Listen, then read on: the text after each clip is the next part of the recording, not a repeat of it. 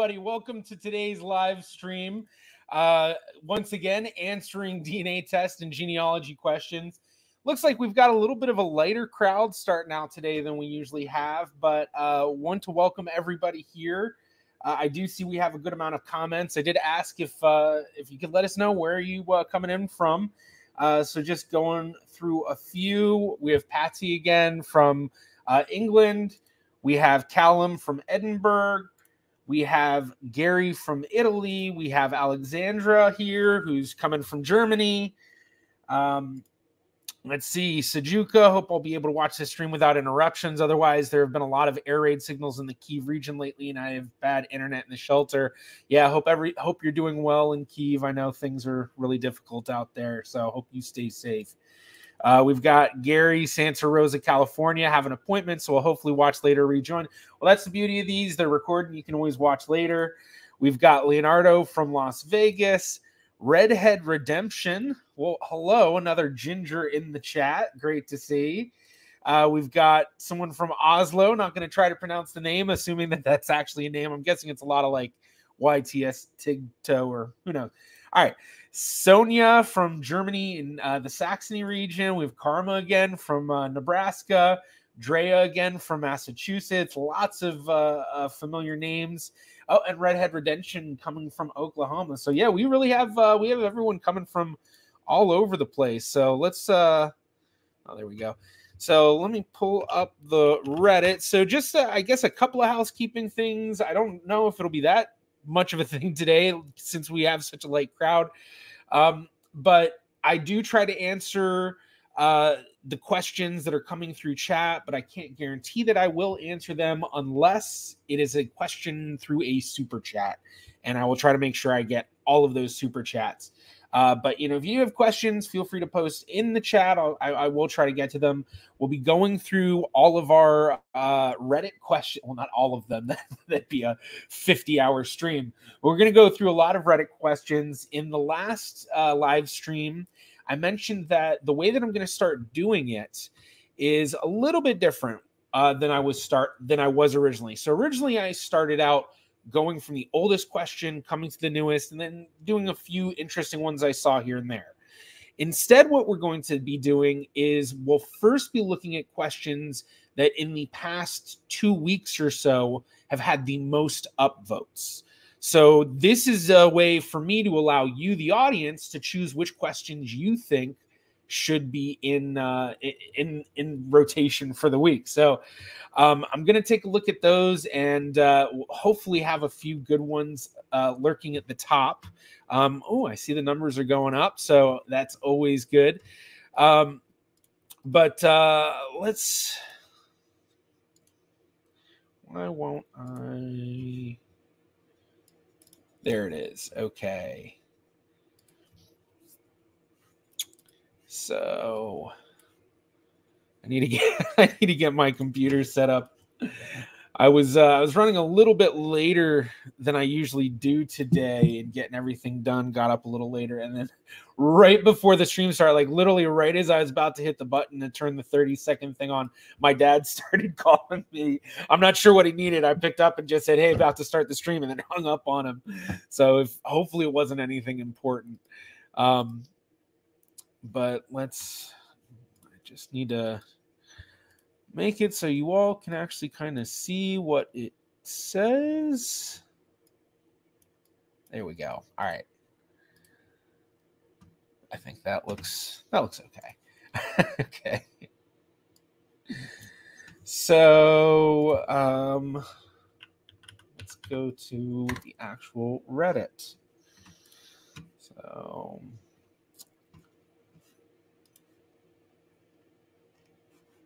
All right, so we're gonna look at our top posts, and we'll do for this month. So, unfortunately, what this means is that older posts won't necessarily um, be showing up here. Um, and I imagine also by doing this, it's, it's going to be showing us the newest posts. So any post that I don't really see that many upvotes on or something low, I'll just kind of leave as a for a later time. So, like this one, Finnish ancestry, we'll probably do it a later time. But like these questions up here, um, yeah, we'll do that. Speaking of which, since we have this, the 2023 end of year survey, if you haven't done it yet, be sure to do it. Uh, I'm doing that to get a lot of information that's just, you know, fun to see what my audience is like, the very active audience, but also to figure out what you all would actually like best. Because, you know, the better content that I put out that actually is something you all enjoy, the better. So we're going to start with where do I look now? Um, and let me just double check. I don't have uh, too many messages I'm missing first. Yeah, we got a lot of messages coming in. Uh, just just so we can say hi, we've got Stephen Millsap, who, has been in a lot of the streams coming in from North Dakota. Uh, oh, I'm your favorite genealogist. That's awesome to hear. Thank you. Thank you. We have Jessica coming in from Canada. Maven, a very, very common uh, person on these streams. In fact, in a lot of my streams. Uh, first stream after my laptop started on fire. Wow. All right. Well, hello. And then, uh, yeah, all right. Let's get to the questions. So, where do I look now? My husband's great grandparents immigrated from Graudenz, now Grudziadz. I'm sure I'm pronouncing that right. I apologize. In Poland, docking at Baltimore, Maryland, and settling in Chicago, Illinois, 1893. There are several other Pafelski families in Chicago that time that seem to be related to each other, but not to our family. So I'm guessing Pafelski must be the family name because they didn't mention it before. Um, I looked at microfilms of Catholic records in Graudenz and found three of their four children buried in Poland before they came to America. I did not find the fourth child, don't know the gender, nor did I find their marriage record. Help, where should I look now? Now, in terms of where to look now exactly, this is something that you'll want to d- discuss with uh, a few types of researchers. And, you know, I'll talk about some things that I know from my side of things. But this is one of those research questions where it's a matter of you need to seek out people who know these communities. So if you can find something online of people, like especially on Facebook, there's a lot of great genealogy groups. I would look for something that shows this Graudenz, Grudziadz, Poland, like people that research there. You can often find genealogy groups. Um, you know, let me see if I can even find any. Uh, so the other thing is you may find it for the specific town, but if not the specific town, knowing the region that they're from. Um, let's see, that's the northern part, not too far from Gdansk, Haskelley. Um,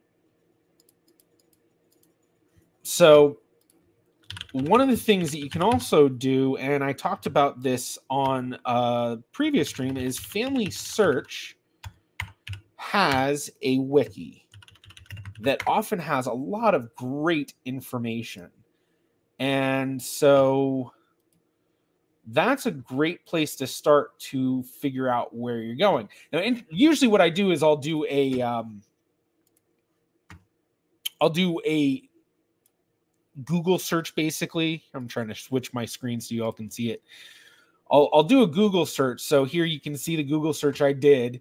So familysearch.org, wiki, and then whatever you're searching. So I put the name of the town. And often it'll be the wiki that pops up. But interestingly, here we have these Roman Catholic parish registers of baptisms in that area. And I'm looking back at this person's question just to just to double check. So they looked at microfilms of Catholic records. So it's possible that these might be the records that they were looking at.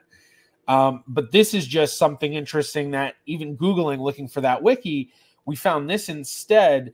And so for those unfamiliar, this is a cataloged uh, set of records. So instead of being searchable, which it looks like some of them are searchable uh, because that's what we have here, um, not all of them are searchable, but you can see them. And so with catalog records, uh, yeah, complete catalog entry of the title you selected, and basically it may not all be indexed, but they are going to have this information.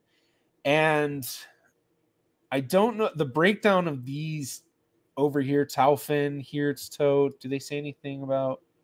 Yeah, I'm not sure. So if one of these stands out where it's like, okay, that's where I'd expect my family to be, well, then you'd want to look. And if if they have the search function, great.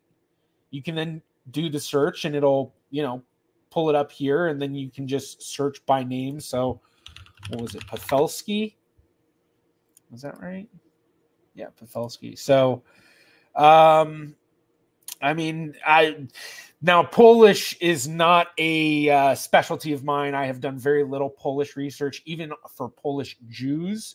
I've done very little, so I I'm not very knowledgeable when it comes to Poland, uh, Polish names and things like that. I do know ski basically means you know son of. It's a patronymic sort of thing, kind of like uh, you know in um, a lot of uh, Ukrainian names you get of or uh, vich uh, things like that. So patronymics, matronymics, things like that.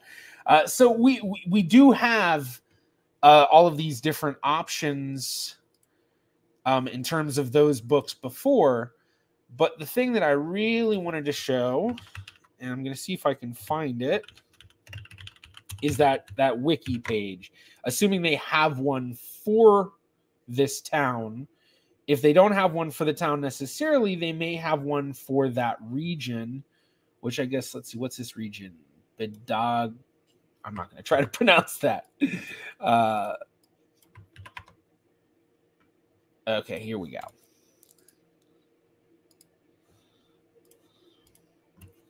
So oh, this is the family search engine. So this was the region that that town was in. And then doing the wiki, we had a few things coming up. So there's a family search center there, apparently. So that might not actually be too bad of an idea to reach out to them and see if they can give you guidance or, you know, help you uh, understand. Uh, maybe a little bit more of what's going on. Here we have the wiki, and now I can tell kind of why we weren't finding that much. This is very short. This is a very small wiki for what I often see on Family Search. Um, but we do say, you know, go over here for uh, information, instruction, and important links to apply to the 1966 uh, voivodeship of that. Um, so there's just, you'll have to read through this to see what's going on. Um, you know, from a wiki standpoint, this is what's considered a stub. I don't know if they call stuff stubs on regular family search. I used to be a Wikipedian for anyone who, who didn't know. Um, so, but this is just a short article. So, just a few things that you could do um, in terms of records. But now going back to the question, um, there's a few other things that you can do beyond just records. And that main thing is DNA. So, for one, you say that you found these several other families in Chicago seem to be related, but can't really tell based on the records. Obviously, if they're in Chicago from that area with the same name, there's two poss- two main possibilities. Obviously, there's a lot of possibilities, but two main possibilities. One, they are the same family from the same area you know, this town, Gradens, and then they all moved to Chicago because they were all relatives and they knew their relatives were in Chicago. Another thing, another possibility, and this may be something you need to look into the history of the migration of people from this town, is to see were there a large contingent of people from this town moving to Chicago. Um, and if that's the case, it's also a possibility that even though these families have the same name, it may not be the same actual family because they may have adopted them around the same time. I don't know the history of surnames in Poland, but overall in a lot of Eastern Europe, it was basically patronymics for, for many, many years up until mostly the 1800s, largely having to do with Napoleon's conquest because he enacted civil registers and things like that everywhere he he took over. Um, but you can um, you know, understanding that history, you can then understand the possibility of, well, is the Pafelski name something that might be going back hundreds of years? You know, like, like more than hundreds, like 400, 500, you know, you could trace that name back into the 1700s or 1600s or, yeah, something like that, as opposed to, is that a name that you really only can trace back to the 1800s? And if that's the case, and they're coming from a population group that only had patronymics up until the 1800 or yeah, up until the 1800s, you have a higher chance that these are just different families that took the same name. If that, I hope that makes sense. I feel like the way I went about explaining that was a little bit around. So there's two possibilities and you can look through the records and try to find it and you know you may find records that connect things but then you're still always dealing with that issue of having to have enough correlating information to confirm it's the right people and not just multiple people with the same name. Because if it is the case that we said that multiple families in that town or that region took that same name but they weren't related it's also likely that they may have also named many of their children similar first names so th- that's something you need to look into. And this is actually an issue all of, all across genealogy, but especially in in places like that where surnames are a much more recent adopted thing. Um, in a video that I did not too long ago, talking about that book, The Jewish Pirates of the Caribbean, a big part of me debunking it, which I, I, say me debunking it, but really it's working off of the work of Tone Thielen. Um, you know, I did a little research and working on a lot of that stuff, pulling up records, but a lot of that thesis really came from Tone. And um, with that book, a lot of it is relying upon bad genealogy where the author took multiple people and turned them into one person. And that's what my video does is it shows the genealogy and the records to prove that they were different people. Um, so this is a very common issue short story long, basically what you could do is do DNA testing. So have your husband do a DNA test and then see if you can find living descendants of this Pafels- these other Pafelski families and see if they're willing to DNA test. As well, connecting with them might be helpful just in asking, hey, what do you know about your ancestry? We might be related. Here's the, or my husband might be related. Here's the information I have on his family is there anything you know that connects into it? So it's kind of twofold in in reaching out. Um, so with that dna if you do the dna test and they end up matching at the expected amount then that that kind of leads credence to your um, your theory your hypothesis. It doesn't necessarily prove it uh, it's one step towards proving it. You still have to do more and confirm with records, and you know because DNA has its issues, and you may be relate. He might be related to them, but it might end up being through a different line that you didn't even think about. Um, especially if they're also coming from the same towns, because that means that even if their Pafelski ancestry isn't the same, they may have similar ancestry to each other. Um, all right, let me take a look at uh, let me take a look at what uh, comments are coming through, if any. Um, so I see a lot of people saying where they're from. We have Italy, Iran, Michigan, Kerry, North Carolina, Canada, Netherlands, and uh, yeah, yeah, we've got we've got a lot of people. We've got people on uh, YouTube, Facebook, Twitch. Yeah, we got a lot of stuff. Speaking of which, um, I am streaming through Facebook, through Twitch, and through YouTube. So if you're watching through one, but you also have an account on one of those other platforms, uh, I truly appreciate if you go to that other platform, follow me there, subscribe, like, or whatever. Um, it certainly helps me out. And uh, especially on Twitch, if you're on Twitch, I need a lot of people going over there and chatting live. So if you're on Twitch, would love to have you jump over there and start chatting. Um, granted, YouTube's actually where I make the money, so it's kind of funny send people away from the one that makes me money right now. But either way, that it it helps.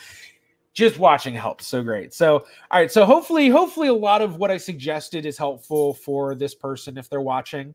Um, they only posted this two weeks ago, so it's very possible. Uh, Grand Mapo Grand Mappa. They've uh, they've been on uh, Reddit for a while, so we're gonna go ahead and mark that reviewed, and let's jump to the next question. Um, so this was the next most upvoted question. This is from 25 days ago. So this was posted um, almost a month ago. Yeah. All right. So, hi, I recently did a test on MyHeritage, but I'm now interested in my haplogroups. Is there some sort of site where I can upload my DNA file and get my haplogroup or do I need to buy a new test at 23andMe, for example? And then, um, oh, it's a cross post. They posted it elsewhere. I was like, wait, what is this? Is the same thing right there? Okay. Now I'm going to take a look through what the comments say uh, first, um, partly because it, it might be possible, but I'm not 100% sure. And I'm trying to see if somebody actually kind of knew. Um, let's see. Um, okay, let me. I just want to check what comments they have over here.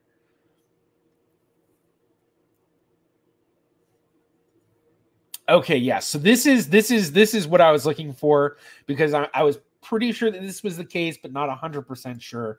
And basically, what it is is that even though they don't give you the information on Y chromosome or mitochondrial DNA, sometimes these tests are still testing those DNA markers. So here, Minnie Cooper Love uh, said there are some third party options that will provide a haplogroup based on the Y or mtDNA data included in some autosomal DNA tests. However, last I knew, MyHeritage does not include any mtDNA, mitochondrial DNA, and they only include about 482 Y SNPs if you're male. So this is how you figure out a haplogroup, which probably isn't enough to get a reliable haplogroup from, which is very true. And one of the reasons why most of the autosomal tests don't really give that is because they need to test for a decent amount of uh, Y markers to be able to confidently say it's this haplogroup or that haplogroup. And even then, those haplogroups are very uh, vague haplogroups. I mean, they've gotten better, but you know, like for a while on 23andMe, my haplogroup was just H. And then eventually it finally became H1 for my mitochondrial. So, okay. So uh, so I wouldn't bother with this if you tested at MyHeritage. It would be better to retest elsewhere. Yes. Um, haplogroups generally aren't very useful for recent genealogy, but if you really want to know them, 23andMe is a good place to start. Start being the key word here because if you want in depth, you will need to test through family tree DNA. Let's see if they say that. Among the autosomal DNA tests, 23andMe includes the most Y and mitochondrial DNA SNPs and you don't have to upload to a third party to get them. A full Y and or mitochondrial DNA test from Family Tree DNA would probably be more useful. Very much agree. It'd be the most useful because they include matches, but they are more expensive. And 23andMe's Y haplogroups are often actually further downstream than FTDNA's Y STR tests. Now, this last sentence, I don't know if that's true or not. Um, that's not something I've ever looked into. It's kind of an interesting thing to to say, and maybe I'll look into that, see how true that is. Although I guess in my own experience, I've always felt that it was kind of the opposite way that you know if you do one of the family tree DNA YSTR tests, you usually get a more downstream haplogroup than from 23andMe. But it's possible that may have changed. Um, it really depends on the SNPs that they're testing versus STRs. And so there's a lot of things to talk about here. So number one, yes, there are third party sites to do that. I can't remember any of them. Let's see if anyone lists any. Um, okay, yeah, YSeq was one. Um, not sure if YFull was. I want to say wasn't there. Was it? Let's see. I'm gonna before I say it, say it out loud. I want to make sure. Yeah. Um, okay. Yes. So stevemorse.org is a website where you can do that. Um, changing my screen. So this is this is the Steve Morse website.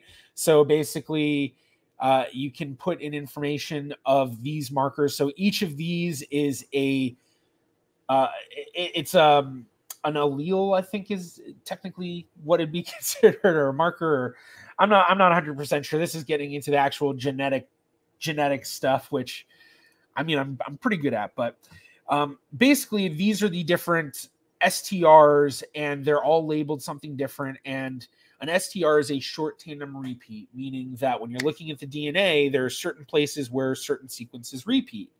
And when they look at that area, they can determine based on how many times it repeats the connection between people. So here at this uh, STR, these are the options of what type of repeats you might see. So you have to figure out how to actually go and look at that information.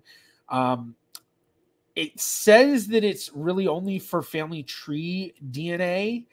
So I don't know if you could use 23andMe with it, but it certainly is possible. Um, let's see, because Steve Morse website has a lot of stuff to it. And that's why I was like, wait, let me look and make sure I'm not just sending people this site. And then they're going to be like, wait, I can't find anything. Um, so there's like a there's a lot of stuff on here. So if you've never been to Steve Morse, check it out. There's a lot of cool stuff. This was a really, really hot website, especially when I first was getting started. Um, I feel like it's been around for the longest time. Slowly over time, it's kind of become less and less useful because so much of this is just available elsewhere and in a more modern uh, version. I mean, this is very like early 2000s type of website. Um, so, yeah, let's see. I'm just going to check uh, chat real quick, see uh, what we've got. Um, okay. We have a few questions I'll get to in a second. Um, okay. So let's see. DNA. So family tree DNA markers, haplogroups.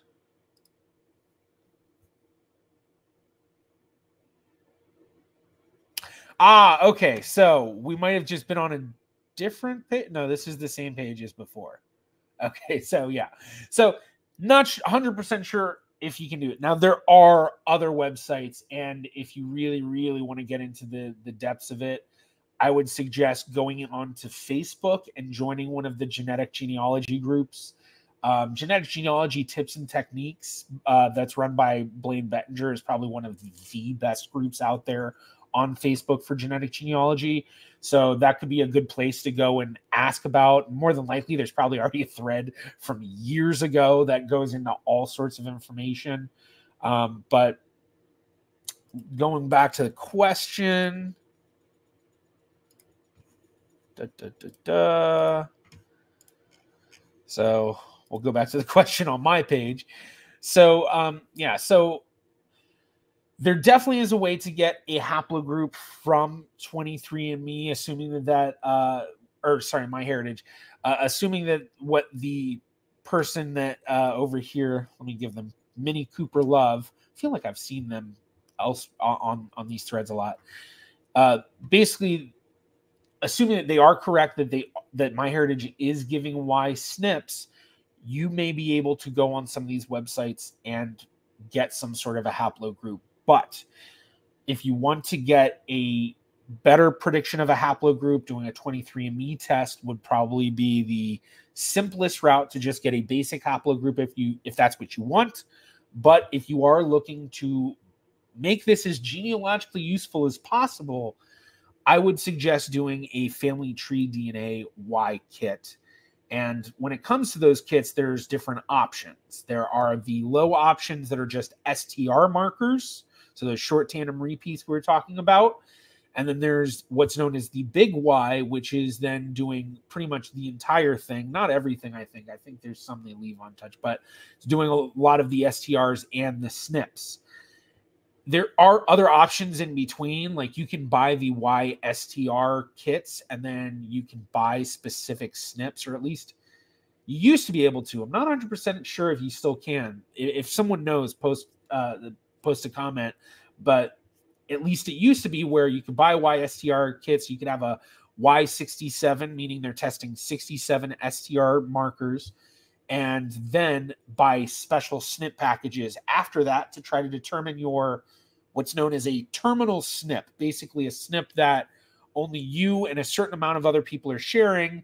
And based on where that SNP is and the other information they know, it then allows them to create a um, a, a new haplogroup that's further downstream, which is then uh, uh, known as a subclade, basically. So, um, just to give a idea of that, here's my Y DNA uh, haplogroup. So I am right here. So this is me, and so this is my my most defined subclade is myself and this person.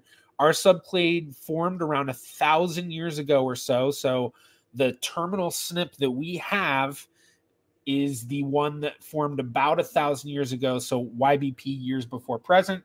So they give a range here. It could have been as far back as, gosh, show it. it does not want to stay.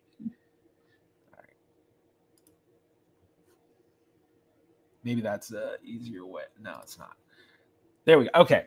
So formed on a 95% uh, uh, accuracy, I guess you could say. I don't think that's the right term, but close closest thing.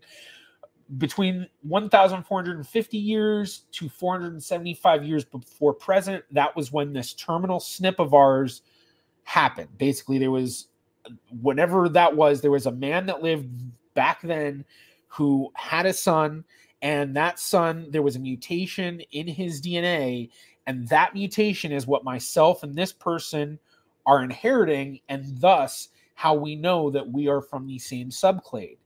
And then, even though that's when the terminal SNP was created, based on the information we have, our most recent common ancestor to 95% accuracy lives somewhere between 600 to 75 years before present. So I've tried contacting this person, have not heard back, which is big disappointment. But the thing is, is when you're looking at 200 years before present, well, that's what 18 early 1800s and for me on that side of my family i actually have it traced back to a person who would have an a male ancestor who would have been alive at that time. So if i were able to get in touch with this person we might be able to our link might be just one generation back behind that or it might even be that same generation so this is, would be what i'd call a genealogically significant match and that's the benefit of doing the more advanced Y DNA testing. Um, now, granted, mine is doing it through what's known as a whole genome sequence test, which is where instead of doing, you know, just Y DNA or just autosomal DNA or just mitochondrial DNA, whole genome is doing the whole shebang. It's getting everything, even all of the markers that in your autosomal tests, like the typical Ancestry 23andMe and all that, doing more than what they do. So they're only doing what's known as those SNP markers. They're only doing about 600 to 700,000 SNP markers, which is only a tiny percentage of your entire genome. But a whole genome test is doing the whole genome. So that's I did a whole genome and uploaded through YFull. But this just gives you a good idea of kind of the idea of subclades. So this is our subclade.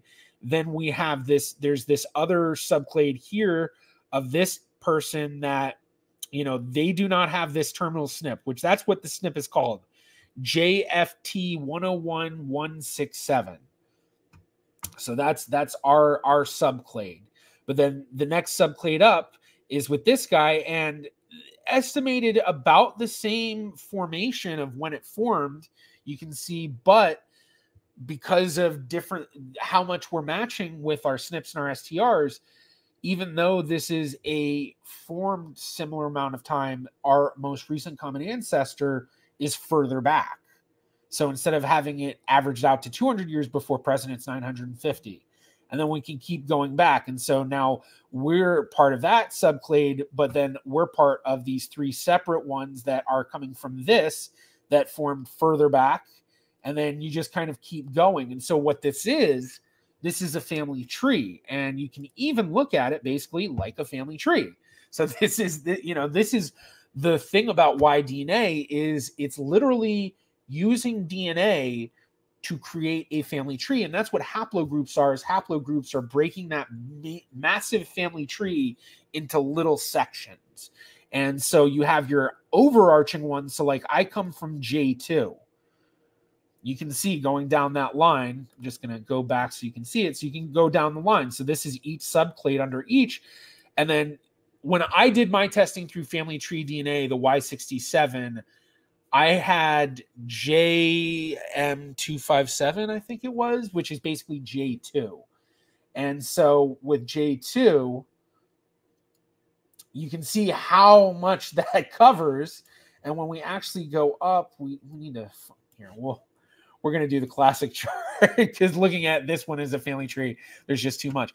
But so we can see with J2, okay, JM102. So there's there's a few different ones, but we're looking at th- over 30,000 years ago, at least over 25,000 years ago. So this goes back real far. So that's why when you're just getting these generalized haplogroups, these vague haplogroups from 23andMe or from MyHeritage if you can do that or doing you know these little trick websites like steve morse and all of that it really isn't genealogically useful because i mean 20,000 years ago i mean even if it was for the ones that are 2,000 years ago um so like like, here go back to the classic chart so like here i mean we're looking at 13,000 years ago um, let's see if I can find my. Okay, so here's mine actually. Funny enough, so we can go up and we can see, and this is what's really interesting too of haplogroups. So take a look at this. So here we have it where we have all of these people where they're coming from Jewish ancestry. And you can tell because over here it says Yiddish. So basically, what these countries indicate is tracing up their paternal line. Where was their oldest known patrilineal ancestor living and what were they speaking? So for me, they're living in the Chernivtsi uh, Oblast in Odessa, uh, not in Odessa, in uh, Ukraine. So specifically, they're living in a town called Sokorani, uh, north, right north of the current Moldova border border with Ukraine, and they spoke Yiddish. And then all these different ones. Well, this one's U.S. They may not know they have Jewish ancestry on the patrilineal line, but you can see tracing up all of this Jewish Yiddish, Yiddish, and even if it says Hungarian or something like that, they're in areas that were common to have a high amount of Jewish uh, ancestry. And even more, once we get here, we see Libya Judeo Arabic. So this person, likely, even though they're from Libya, they're coming from a um, Jewish ancestry, so probably Mizrahi Jewish ancestry. And then we get further back, and then we get people coming from Qatar and Saudi Arabia. We have someone from India, and then we keep going back and we have Libya, Libya, Iraq, and then this is our big group right here. And so this JZ42941, well, let's look at their quote unquote siblings and where their their descendants are. And then we notice it's basically a lot of Middle Eastern or Mediterranean. So we have Italy, Hungary, Armenia, Syria, Armenia, Yemen, Yemen, Saudi Arabia, Kuwait, Kuwait, Iran, Saudi Arabia, Italy, Great Britain, Russia, Armenia. So, you know, it's not always going to be exactly the same, but very similar. And then here we see Palestinian, Palestine, Palestine, Palestine. So this is, I just wanted to show this because this is, you know, for all the people right now that are going on and on about, you know, Jews are not from the Middle East, DNA proves it conclusively. They, there is a strong connection. And what we can see with this subclade that I am coming from, that all of these people that are Jewish we see that this formed right about 5,000 years ago, which is very interesting because if you know what year the Hebrew calendar is in, it's not too far off. And the most recent common ancestor lived probably about 1,650 years ago. Granted, there's a range. And most likely they were living in the Middle East. And when we look at their closest subclades, which is this one where they're from Qatar, we can see that it's a similar thing where they're all coming from this ancestry here that was about 7,300 years ago, 5,200 years ago. So basically, 50 or sometime about, you know, between a couple of thousand years ago, there was somebody in the Middle East who likely then became Jewish um, for whatever reason, because, you know, Jews didn't always exist. Once they existed, you know people had to become jewish. And so that's kind of where that split off happens so basically every almost everyone that seems to descend in this block seems to have jewish ancestry. But then when we look at the others they seem to have some sort of north african or uh, middle eastern ancestry basically you know within that typical kind of muslim world um, so it's just, just very interesting in terms of the y-dna so you can really see from a basically a family tree point. I mean, this is just looking at a family tree of just one line for everybody. So, you know, we all trace up our paternal lines. We all look at our father's father's father's father's father, and we do that for thousands of years. And eventually we find one man that we all descend from. So, okay. I think I've been going on and on and on and on and on for this one. I hopefully you all are enjoying that. Um, now I actually need to get back to uh, all right. Uh. Now we want to mark this reviewed, apply, and then go back. All right, let's check messages. And I know we had a few questions that I figured I'd answer. Ah, I see the numbers have gone up a little bit. That's good to see. Um, all right. So Stephen Millsap, is it worth taking ancestry DNA test over to my heritage, family tree, living DNA, etc., or is it better to get each of their own tests? Now, this is actually kind of an interesting question in a few ways. Um, but overall, I think the answer is really going to be it's not that worthwhile to test directly with them um, unless you're really into the admixture stuff. Um, but if you're doing that, if you're just trying to get into those databases specifically for the genetic matches so that you can identify your family, expand your family tree, do that sort of thing, it's not going to make that much of a difference. But if you do care about the admixture, it may make some of a difference. And the reason is is because well, each of these DNA tests are largely testing the same SNP markers. So just a reminder, all of these testers are testing about 600 to 700,000 SNP markers, your autosomal SNP. Uh, SNPs standing for SNP, single nucleotide polymorphism. And with these tests, even though they're all testing largely the same amount of SNPs, they aren't all testing the same SNPs. So there may be some that do have a larger overlap, and then there each company may have specific SNPs that only they're testing that none of the other companies are testing, or only one of the other companies are testing. Um, so when they're doing their algorithms to create the admixture, the ethnicity calculators, then it's going to be slightly different if they're going to be testing different markers that they're using for that reading. So, you know, if you test with MyHeritage, and let's just go with a clean number 700,000 SNPs, let's say, or let's let's just say ancestry because that's what you said.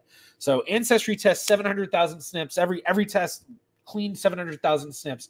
You upload it to MyHeritage, but there's only 650,000 of those SNPs that MyHeritage actually tests for and then on top of that, there's another 20,000 that MyHeritage tests that Ancestry didn't test. So you're looking at 50,000 SNPs in your Ancestry test that aren't going to be used by MyHeritage. And then another 20,000 SNPs MyHeritage is looking for that you're not going to have. So when they give you your admixture results, it's going to be different because it's not being able to use its full potential because there's a whole bunch of SNPs that – are missing that it would use to to figure things out. And there's a whole bunch of other SNPs that aren't useful for it. And so if you want to get the most out of a company's admixture or their health traits or the uh, you know the the non the non genetic genealogy stuff really then it may be useful testing at that company just so you can get the test to properly analyze the way that they were designed to analyze. So hopefully that makes sense. Um, but yeah, just if you're just looking for doing this to get your genetic matches, I think it's just worth uploading. Now I will say this is actually this is something that's crossed my mind before. It's a question that has come across across my desk a few times. And it's something that I was looking at possibly doing a video of um, using one of my YouTuber family tree guests as the test subject where I'd actually have one, I'd have them test at multiple places and then upload their results to the different sites and then kind of compare what are the differences between each. Um, so, and that's also not considering that each test they're when when they do the readings of the DNA when they try to read each 600 700,000 markers there's a 1% margin of error and 1% margin of error at 700,000 is 7,000 SNPs being read incorrectly. Um, so you also have that on top of all of the other parts where you're it, just complicates things. So yeah. All right. Uh, let's see. Scott Lee Gibson, 23andMe sent me a V5 chip upgrade to take a new sample. Do you think it will change much? And what new things can I expect with the new chip upgrade? Now, I'm not 100% sure what you can expect with the new chip upgrade. Um, I think it's going to be kind of a very similar answer to the one that I just gave in terms of with all of their calculators for the admixture, the ethnicity uh, calculators, the health traits, and all of that. Um, it's going to give you better answers because that's what their system is geared towards is having the V5 chip. And I'm not 100% sure. I'll have to look. Let me see. Um, because I think with the V5 chip and the V4 chip, um, it's basically just kind of a matter of uh, the SNPs that they're looking at. So let's see. Um, so let's was is it Illumina or Midjourney?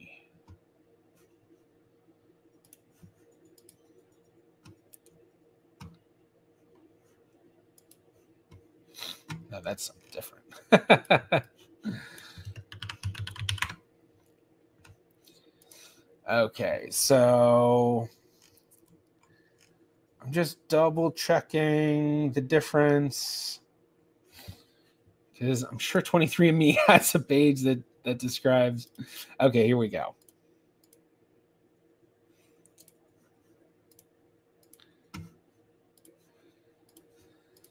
So this this kind of breaks everything down, but they have the key information for it. So uh, currently, chip upgrades are only available for customers who are genotyped for the V1 through V4s. Um, you do have to pay for it. And then let's see. Oh, it doesn't say. Okay, so I guess this is this is kind of what you get. There's more reports that you get with it. Um, but um, the main thing I'm trying to see is are they testing more SNPs because I've actually I've never looked in depth into actually like what the exact difference between them are. Um, I did know that you're basically kind of limited on certain reports, and then other reports you may not get as um, strong of results. So yeah, if anyone knows, post in the comments. Do they test more or, or more SNPs? Because I was pretty sure that was kind of part of it. Is they're testing more SNPs. Yeah, they don't even say SNP. Single report. No, okay. Yeah. All right. but uh, hopefully that answers your question. All right. Uh, we've got some more people coming in. Hi from UK. Hello from North Carolina. Um, uh, Drea, I'm in that group, Genetic Genealogy Tips and Techniques. It's a great group. DNA Detectives is a great one too. Although DNA Detectives is specifically geared towards identifying unknown ancestry, basically, um, you know, adoptee cases, NPE cases, unknown parentage, things like that. Um, uh, what's the name of the group? Yeah, Ge- uh, Genetic Genealogy Tips and Techniques. Yes. Okay. All right. I'm just reading through a few. Okay, I'm a true genealogist. It's all about the matches. Yeah.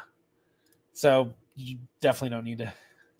Okay, tested on V3. So yeah, if you're gonna jump from V3 to V5, I imagine um, in terms of the reports and all of that, it'll give you a lot more. In terms of the genetic genealogy, I don't know uh, if there's a significant benefit to it, but I imagine that there would be a benefit in terms of when it's comparing you to other V5 testers in their database. Um, huh. What are your thoughts on the police are stealing your DNA video? Same as your thoughts on the Illuminati video. Yeah, pretty much. I mean, the video was basically, you know, it, the guy did research. I don't know if he had a team or not. Um, funny enough, he's actually apparently he's a friend with Chris Fiorello, who's a um, mod on my Discord and someone who has been a big friend of the channels, helped me out a lot. And uh, so he was like, Yeah, I actually know him and all that. Um, but um, I, I found that it was kind of, you know, it was it, it was very fear mongering. Obviously, I mean, the, everything was geared towards being fearful, which I thought was just a bad look. A lot of the terminology just showed that there was a lack of overall understanding. That it was a very kind of surface level type of research being done, and I mean, obviously, I have my bias. Each of the guests have their own bias, and then the guy that created the video has his own bias. Renegade Cut, I believe, is his name. Um, but it just felt it felt like it was one like he was just you know okay that sounds like a good video topic for content knocked it out and then moved on um didn't seem like it was any sort of truly in-depth look at everything and also just you know, just a, a, typical lack of understanding of the benefits of the genetic genealogy overall, and just I don't know. He did mention some of the benefits, but glazed over it greatly. And he also he conflated a lot of things. Like I remember one of the things that I he didn't seem to mention was that uh, the limitations of which websites could actually access the DNA. He also really, really screwed up the part where he was talking about CODIS and uh, other DNA kits because, you know, we've been talking about these autosomal DNA tests. And these are, as I've mentioned a bunch of times, testing 600 to 700,000 SNPs. Well, when we're talking about uh, DNA tests that are used to arrest people and issue warrants and things like that, they aren't these tests. You cannot use autosomal SNP testing to issue a warrant or anything like that.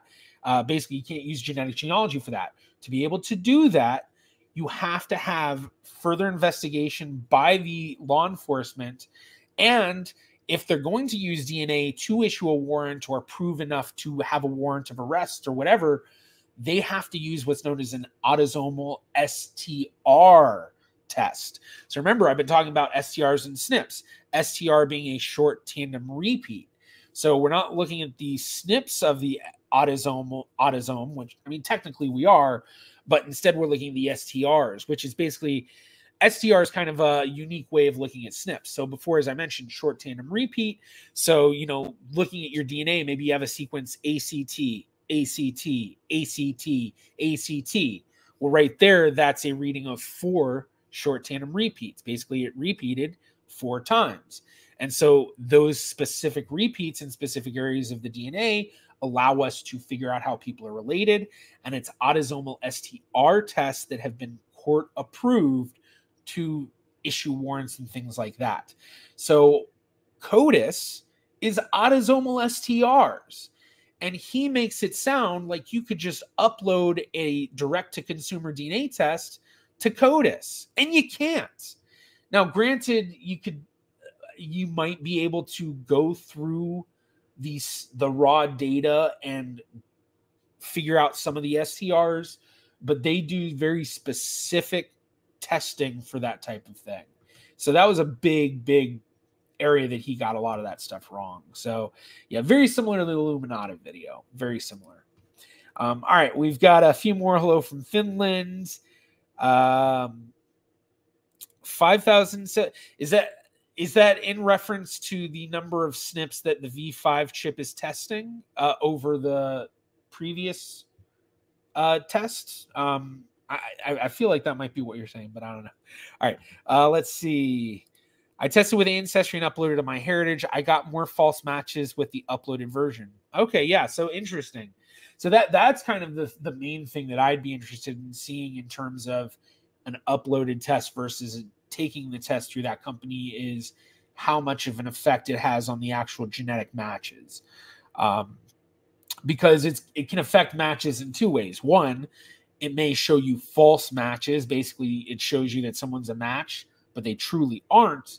Um, or there's a more specific thing where they give you false segments. So even for your true matches, there may be segments that says that you're sharing that you truly don't share but it just thinks you do because of the issues between that. So it's kind of you can kind of have both at the same time.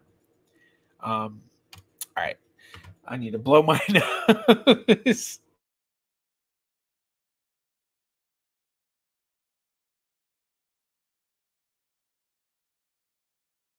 All right, let's uh let's jump over to doing another question. Um Oh, I don't want to create.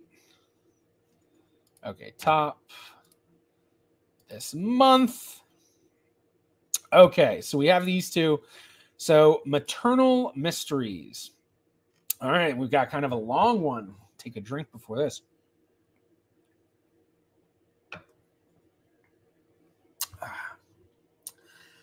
Hello, Jarrett. My ancestry DNA readings were completely European, which made enough sense on the surface, but then I uploaded my data from Ancestry to GEDmatch and your DNA portal. I hope this isn't going where I think it's going. There, I found traces of North American, Central American, South American, North African, Middle Eastern, and Central Asian on my chromosomes, along with other things which, while interesting, are less relevant to the questions I would like to pose here. Okay, hopefully, maybe they're going in a different direction, but yeah. The North American presence is at least partially accounted for in my Treon family search, but everything else serves to sharpen my curiosity about my maternal great grandfather, whose percentage is almost completely unknown. His name was Lewis Harvey Livingston. According to my records, he was born on February 14th, 1882, probably in New York, and died in Minneapolis, Minnesota on April 17, 1920. His official cause of death was Spanish flu, but it was also suspected that if the Spanish flu hadn't killed him, syphilis would have. He must have lived quite a life. He married a Norwegian uh, woman named Karen Marie Halverson, who was probably one year his junior and died in 1958. With Karen, he had five children. I'm not going to read all their names. Three of these died young, leaving Lillian and Laurel the second. Okay, so Lillian Laurel. My tree currently says that Lewis Harvey Livingston's father was Lewis Howard Livingston, born on these dates, but I now think it at least as like, but I now think it at least as likely that his father was either a Pablo Livingston or Lewis Howard Livingston Jr. Okay, so they think that at least as okay. The wording there is a little odd. Or maybe i'm just reading the uh maybe my emphasis is on the wrong syllable but uh yeah either pop so it's equal that it could be any of these three men. Um or oh no two men. Lewis harvey yeah okay. Oh no three men. So there's a lewis howard livingston lewis howard livingston jr and a pablo livingston. Okay as for his mother, the one record I have been able to find suggests that her name was Olive Peterson, but we know that she went by multiple names, including the first name Betsy and surnames Hoff and Stapleton, in addition to Livingston. Family legend has it that she possessed considerable wealth or unknown origin, was extremely. Okay. Nothing that's genealogically relevant. Interesting, but not genealogically relevant. That's what we need. If I'm connecting the dots correctly, his paternal family was rascally one rascally one oh was a rascally one to say the least deeply involved in dubious business ventures of which prostitution was one. Well if he was probably going to die from syphilis not too surprising.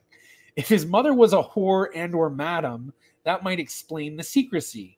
Before i lay out my ultimate questions here i should mention one more thing about the livingston family of which i suspect my great grandpa was a member they married into several Dutch families, such as the Schuylers and Beekmans. It is my additional hypothesis that some of these Dutch families whose bloodlines the Livingstons became part of may have been Sephardic. I mean, it's possible. Hence the geographical pattern in my DNA. Oh gosh, it's it was starting to go the way away from what I was worried it might be too, and bam, we circled right back. Uh, hence the geographical pattern in my DNA, particularly the North African and Middle Eastern, along with the Iberian Basque, but potentially the others as well. A final note of interest regarding these Dutch families. One of the people in the this part of my current tree is Stinty Dudis, born 15. Okay, so on to the questions. Do you think I'm on the right track? Do you have any instincts, hunches as to who Lewis Harvey's parents were? Do any of these people sound familiar to you? Well, to answer the, the last question, none of these people sound familiar to me. I've never researched this family. Uh, so, yeah, not something that I just know off top of my head. Um, if I did, I, would be quite impressed with myself. um, all right. Do you think I'm on the right track? Unfortunately, I think you're starting to get off track, and your biggest issue was as soon as you said this. But then I uploaded my raw DNA ancestry from to GEDmatch in your DNA portal. There I found traces of all of this stuff. And the truth is, the GEDmatch ethnicity calculators don't rely on them don't take them and think, oh, these must be better than the than the the main consumer DNA test kits. They aren't. They haven't been updated in years. Uh, some of these probably haven't been updated in maybe almost a decade. Um, they are made by random people on the internet, and the, what I like to say when it comes to GEDmatch, and I, I don't really know your DNA portal, but I mean, any of these sites that give the ad ethnicity admixture breakdowns, as soon as you start getting into this plate, not a good, not a good, yeah. Um, so I think you're getting off path thinking too much about these. Um, you know, all of these separate little things North American, Central American, South American, North African, Middle Eastern, Central. I mean, you almost got everything except for East Asian and South and, and Sub Saharan African. You know, I mean, it's just, it's, I don't know. The way that I like to call these GEDmatch ethnicity admixture calculators is pick your own ancestry because you could go through all of them and get slightly different, you know, not even slightly different sometimes, but fairly different results, especially for certain calculators that simplify how many regions. Like if you do a Eurogenes K13 through one of the higher ones, basically the number of population groups they're testing. So the K13 is only 13. And then here, let's, you know what? Let's pull up the GEDmatch calculator itself. So we can look at all of the many calculators available, and then even more. See, maybe if we can find some of these.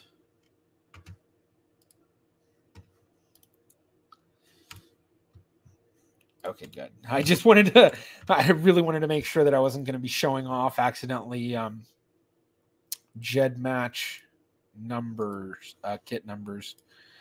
Okay, so so here we're on GEDmatch and we have our admixtures utilities. So we have a lot of stuff going on. First, we have options of how we want it to actually look or process. But now we have all of our different projects. And each project then has its own things within it. But clicking on this information on the side, we get all of the quick information. So, quick description MDLP, this project has a global focus. And when we click on this, oh, of course, you all don't see that. Um, oh, gosh, I know there's a way that I can share it where I don't have to keep switching, but then it unfortunately shows stuff that I don't necessarily want public. So, okay, so we have this here where it goes in depth about the MDLP World 22 calculator. And hey, what's that date? 2012. And more than likely, let's see, we have do we have it telling us? Okay, so these are the most recent updates, but on the side, it even gives us these other projects. And so you can see kind of the last when a lot of these were last uh, uh, edited or talked about or whatever. So you can see a lot of them are very old and basically outdated. Um, ah, going back.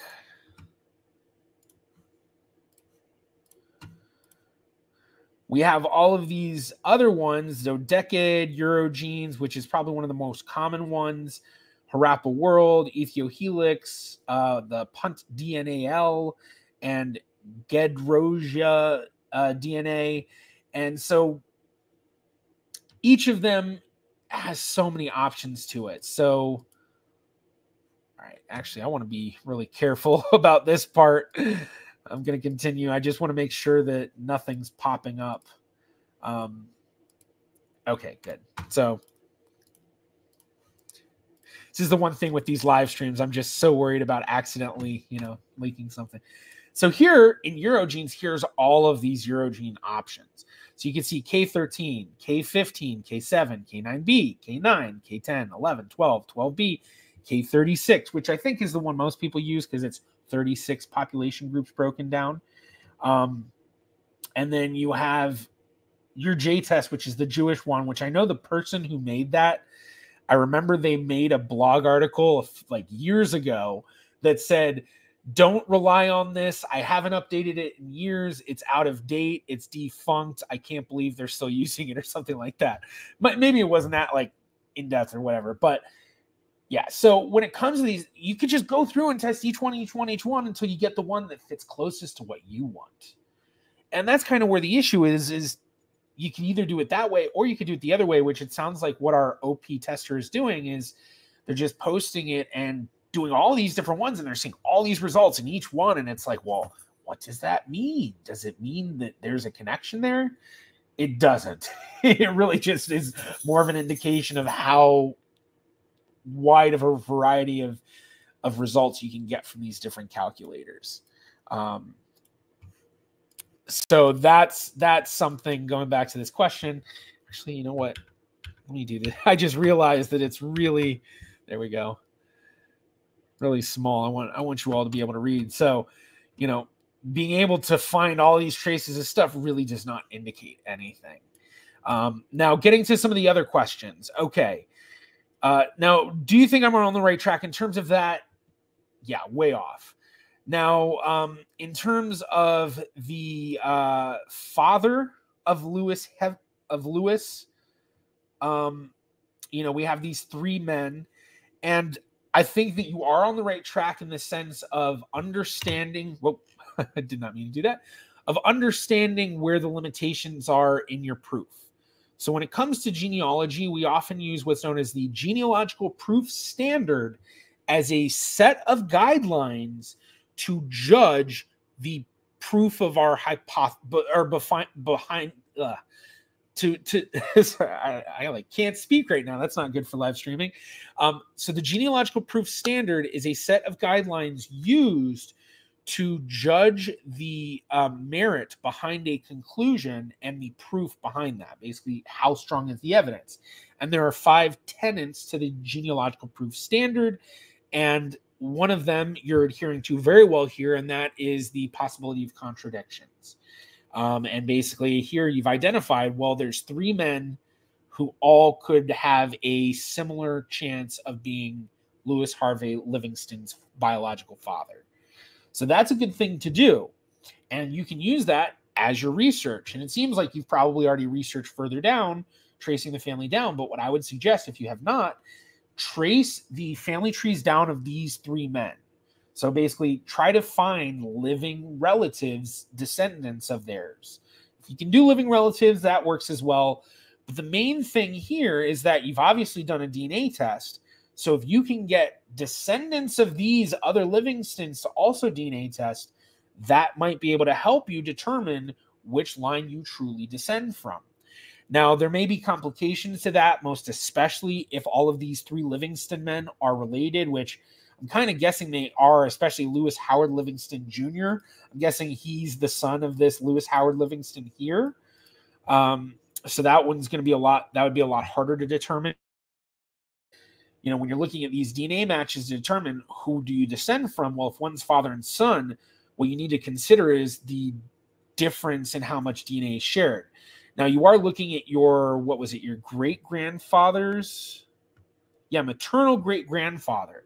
So if you can get your mom to DNA test, this is her grandfather, meaning that she would then share 12 point, about 12.5% DNA with her great grandfather, who would be one of these three men.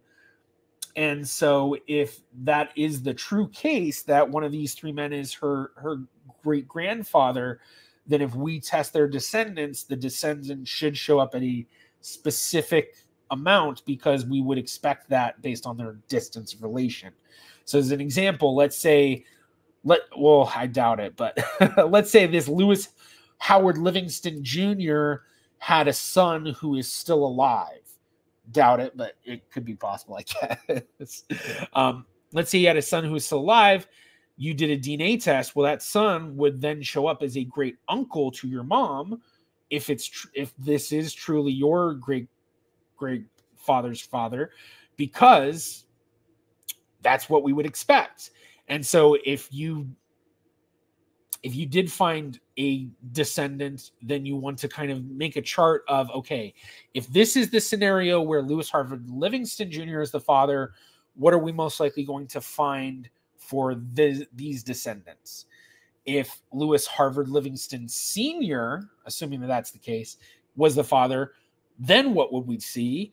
And then if this Pablo Livingston is the father, then what would we see, assuming that they're all from the same family?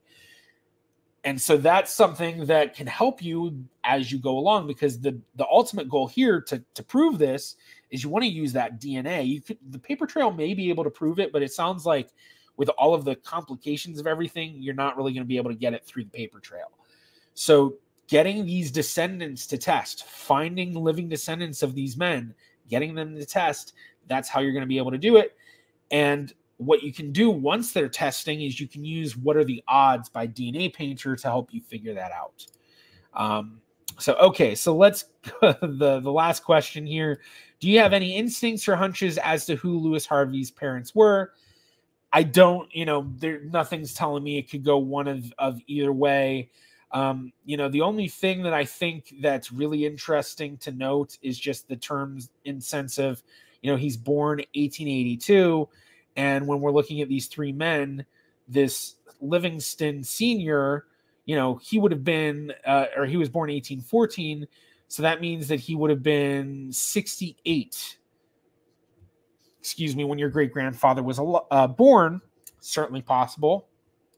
But these other two men fit a much more common age. They would have been what? Uh, let's see, 38 and 36. So that would be the only way I'd be leaning is that I'd be leaning maybe a bit towards these two just because the age seems to fit a bit better. But if we're breaking this up in terms of like, you know, out of a hundred percent, what's the the probability that I would place on each one of these men being the father of your great grandfather? I'd probably say 30%, 35%, and 35% really not much difference, very negligible. And literally the only reason that it's not an even 33.333% for each is just because these two men, the age fits a little bit better. That's really it. Um, so hopefully that answers the question. Hopefully that was interesting for everybody watching. Um, but let's uh let's mark that reviewed and check on chat. So, oh wow, looks like we've had a lot of chat, and I see the numbers really went up. Wow. All right, we've got oh, we've got a couple of people on Facebook. We have a couple of people on Twitch. Awesome. Uh, yeah, for for those who are uh, on Twitch, uh, say hello if you can. Would love to love to see some chats coming through there. Um, okay, let's see. Where was I last? Okay, let's see. How can you tell if you have a false match? That's a really complicated answer, and there's a lot of different ways to tell. And the the possibilities of having a false match go up and down depending on different things. The call rate of the DNA test, uh, which doesn't really matter that much with direct to consumer tests, because uh, it's always about 1% margin of error. But the population groups you're coming from, so if you come from an endogamous population, you have a much higher chance of seeing false matches or false segments.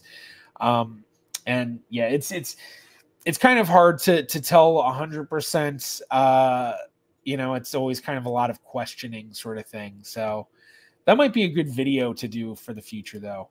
Uh, do you edit your own videos? So I do, but I do have some editors that I work with. I have one editor that I've been working with now for, gosh, almost uh, two years. Uh, I've known him for a longest time. He's been a long term friend, did a lot of business stuff with him. In fact, when I used to own my own business booking concerts, he was one of the booking agents who worked with me uh, and helped me do tour management and stuff too. Um, but he does editing for all of my reaction videos, but he does kind of like a basic editing, basically just to save me time. So I send him all the raw footage. He puts the audio together with the lines it up with the the the footage, cleans up the footage a bit, uh, and then cuts everything down and kind of like the base storyline, and then sends it to me. And then I go back in and I edit I add in, you know, I add in like the animations and different things like that. Uh, and then I'll cut out a few parts myself too. So yeah. Um, hello, someone unreachable. uh, okay, we've got wow, we've got a lot of stuff. So I'm not. I'm gonna skip a couple of these questions. I know that they might be uh, good, but uh, let's see. Um, oh wow, 40 kits are a lot to manage. Was that how many uh, it showed for me somewhere? Um, I, ha- I I have so many kits I manage. It's great. I mean, when you're when you work professional genealogy, it just happens. It just happens. So, and all of the kits that I used to manage when I was uh, the lead investigative genetic genealogist at DLI, whew, keeping track of all of that. Oh my gosh. Oh my gosh. Oh, the Jewish year. Okay. Yeah. So that was, uh, that's 5784. Yeah. I can't believe I didn't recognize that. um, okay. Uh, Let's see. Oh, we've got Charlie in here. Hello, Charlie, one of our wonderful admins. Um, okay, let's see. Ba, ba, ba, ba.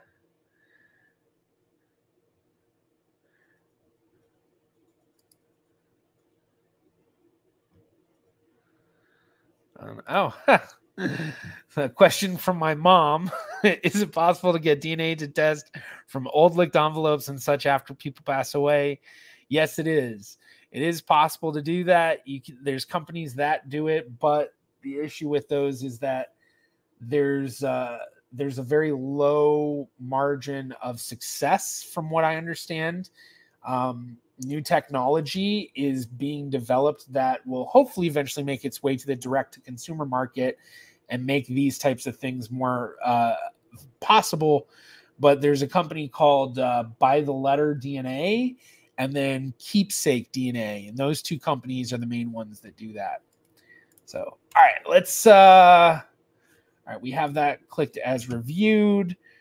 Um, okay, so since all of the rest are just three, I'm gonna I'm gonna go into here.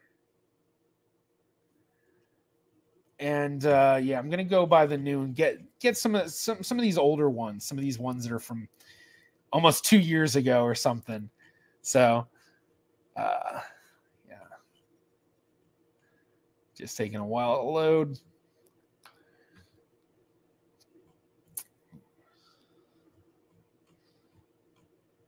There we go. We're slowly starting to get into it. I might need to I might need to look at some memes too. Jeez, it is it's crazy how far down here it really it really gets. Jeez, it's not gonna be long before I start hitting the three year. Okay, yeah, I think I think there were some of these that I started I was purposely kind of skipping because it was just it's just the admixture question just in a different way. Um, oh, I do need to all right, sorry, I need to check something with my Twitch while I while I do this. Um, while I'm doing this, I should mention I know that I kind of skipped a lot of questions. I, I mentioned this uh, the beginning of the stream. I will try to get to questions posted in chat. I cannot guarantee it, but um, if you do post a question through YouTube using the super sticker uh, chat or whatever it's called, um, I I will guarantee that I'll, I'll I'll answer those. Plus, that helps me out. That you know supports the channel. Um, but sorry, I'm just I just need to do something real quick for um okay. Okay, good. Sorry. sorry about that, everybody. Um, all right, so getting to the questions, I guess. Update, update, question about all right, let's look at this one because this is a question for review. If it's an admixture one, ah, it's just an admixture one. I'm from Argentina, Buenos Aires. I'm a bit confused for my results. Dad's side, Spanish, Argentinian. My dad, blonde eye, blue hair. Mom's side, Northern Italy, Southern France, Northern Spain. Don't know much. Austria. My question is where could the Americas DNA come from? It doesn't match my research and family history. Uh, also, a bit confused about the Slavic Ashkenazi results since I never heard anyone from my family had that heritage. Uh, okay, we'll take a quick look at this. Um, so, okay, you know what? I think this will be. Did it seriously just do that? Okay, good. Okay, there we go. I was like, what is it doing? So hopefully you all can read this well enough. So 85% European, less than 1% Ashkenazi Jewish, which I say this all the time. Anyone with Iberian ancestry, you're gonna it's not gonna be uncommon to see 2% or less Ashkenazi Jewish or even possibly more because that's basically representing the Sephardic ancestry that you have that all almost all Iberians have due to the Inquisitions. Um, then the Americas, 14%, um, and a, a, wider range Central American, Andes Caribbean, Central and South uh, uh, Mexico, Argentina, and Chile. So we're getting, you know, all kind of over that area. And from what this person was saying, I mean, it doesn't sound that out of possibilities when paternal grandparents born in Argentina uh, maternal grandparents emigrated straight from Spain. So that makes sense that, you know, though that side probably not getting it from there, but paternal grandparents born in Argentina, that's not surprising. And if they were first cousins and they both had native ancestry, Amerindian ancestry, I mean, that certainly makes sense. I mean, four, 14% is the equivalent of a great grandparent of full indigenous ancestry but it's also the equivalent of two ancestors or uh, of two second great grandparents with indigenous ancestry and for third great grandparents. And you know it's not always going to come from the same line. And if these two were cousins and they both had that native ancestry it certainly makes sense. For the mom's side paternal grandparents came from these areas but how how how far back and then maternal grandparents, we don't know much. Um, but was apparently yeah. So so I mean, eh, I'm not where you live, where you're coming from, what you do know of your ancestry. I don't think any of this is surprising. Don't think any of it's surprising. Um, oh, and we even have people basically down here probably saying the, the kind of the exact same thing. Um, all right, so we're just gonna we're gonna mark this as as reviewed and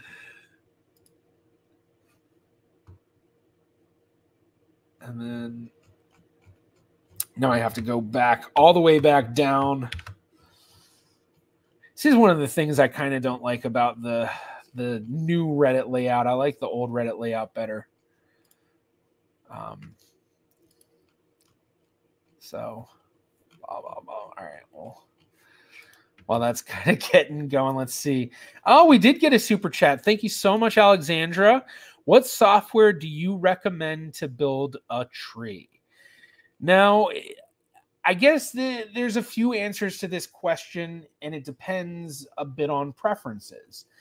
My, well, I guess it depends on preferences and use of the tree. My personal preference is actually to use softwares for different parts of the tree process, I guess you could say. So, your question is specifically do you re- to build a tree? So, in it, when I hear build a tree, to me that means actively researching and building that tree and doing that. And my preference is using Ancestry DNA because it's the best way to focus on your work, expand things out, have quick access to hints, easy access to kind of get into your searches. And then you can always do much further research and all that. But Ancestry kind of is a good place to keep track of your own thing.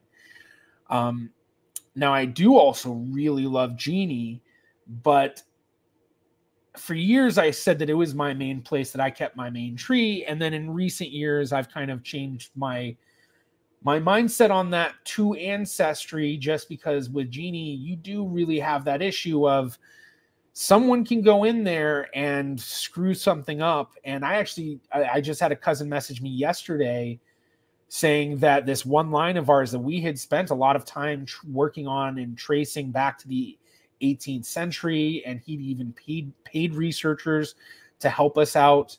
Um, someone had gone in and really screwed it up. And now I've got to go find some time at some point to go in and fix a lot of it.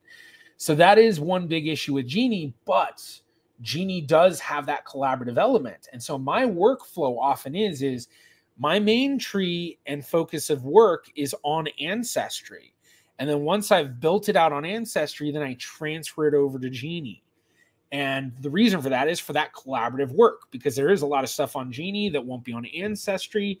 And even more, when you put things on Geni, people may be able to go in and help you expand upon it. Granted, there is that downside on the other part of it where they could go in and screw it up. But in my experience, more often people are helpful than screwing things up. Granted, when someone screws something up, they can really screw things up. Um, so my workflow is often that building on Ancestry getting it onto uh, Geni from there. Um, now, in terms of preferences, though, there are some people that do not like to do their tree building online. They prefer using offline software. And there's two main companies that I know about and have used for offline software. Granted, I haven't done it extensively because, in my own personal opinion, I don't really see that much of a benefit in doing offline software. Um, but Family Tree Maker and RootsMagic are kind of the two big ones that I find most people enjoy. There are a lot of other ones out there. So hopefully that answers uh, hopefully that answers that question. Um, but one thing I should say with this is I actually try to keep a tree, at least a basic tree, on almost every single website out there. And that has to do with the concept known as cousin bait. Basically, the more trees and information you have out there on your family, the easier it is for your cousins to find you. Because if you have a cousin that's looking into your aunt, your shared ancestry and they find the work that you've done, it's very likely they're going to contact you. I mean, think about every time you've worked on your own ancestry and found someone who's already been working on it, most especially a cousin. So, all right, let's just kind of um, look at some of the other stuff. You're very welcome, Alexandra. Thank you again so much for uh, the support in the super super chat. Um, okay, so let's get back to these questions. All right, the French ancestry, French ancestry. Uh, using my tree and general history knowledge to understand my admixture results. It's well, Govir is someone that's been on. It's been very helpful on the channel Ah, uh, this isn't even a question, but this is probably a good one because I was about to say that I think they would know. After seeing the questions people have here, I thought I would point out how I can use a mixture of my tree, DNA matches, and general history knowledge to make sense of my admixture results. And I'm not going to go into this, but I, I imagine that this will be pretty good. Um, Govir is someone that has been very helpful in answering things for people in my Reddit. And I know I've seen them post a lot of stuff elsewhere. So, yeah, definitely, if you'd like to see what they have to say. Um, okay. Uh, DNA review, it's just going to be another comparison, isn't it? I hate to skip over people, but answering the same admixture question over and over and over just becomes kind of, yeah. Yeah, it's kind of just kind of just same thing. All right, I'm sorry. I'm gonna skip that one. So I just I just really want to get. I mean, it, I think at this point we've all seen these questions. In fact, I think that was one of the things I saw in my survey. Uh, was loving the live streams, but can you just skip the admixture questions? Sick of seeing them. All right. Oh wait, I think that I answered this one. Either way, this is way too much information to try to go to right now. But I know I've seen Y Baranth before, and I'm pretty sure I answered their question. So, um, all right, let's see if we can find. maybe, maybe I need to try to find something. Uh, all right, let's see. Let's see what this one. Okay, adopted great grandfather. Was he hiding something? Hello, my name is Carlene. I'm Italian on my mom's side, Jewish on my dad's side, basically a 50 50 split, even in 23andMe.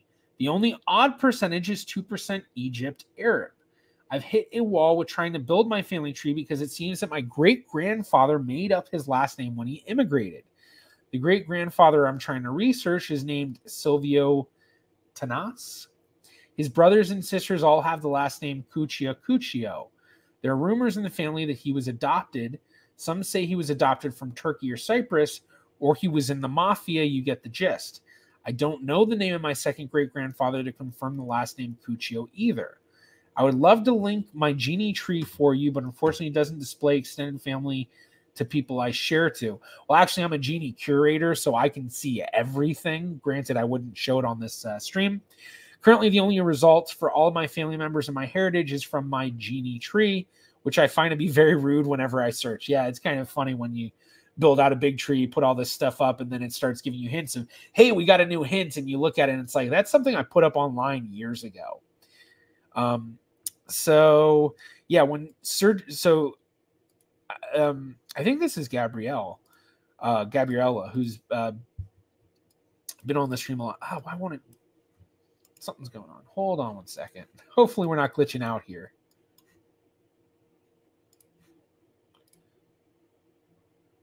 Okay. I don't know what was going on there. Okay. When searching on your DNA relatives, do you find any similar surname to Cuccio, Cuccia, Tanas? If not, any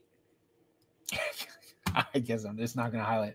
If not, any of the descendants of your great grandfather can test in 23andMe to confirm the rumor. That's a great way to go about it. On Family Tree DNA, you can find for free his naturalization record, though on the one I found does not mention any family members. There's also a passenger manifest with his name, mention his father as Babasto, Batasto, or Carmine, and a cousin Giovanni Lunin, Sunin. All this information still needs to be confirmed if it's the same person.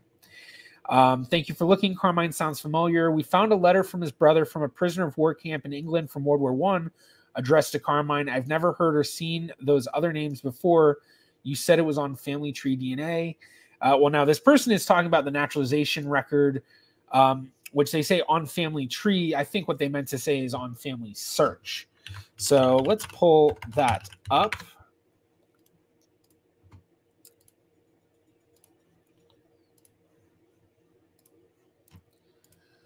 So here we have family search, and we're going to do a search over here, and we're going to be looking for Silvio Tanas.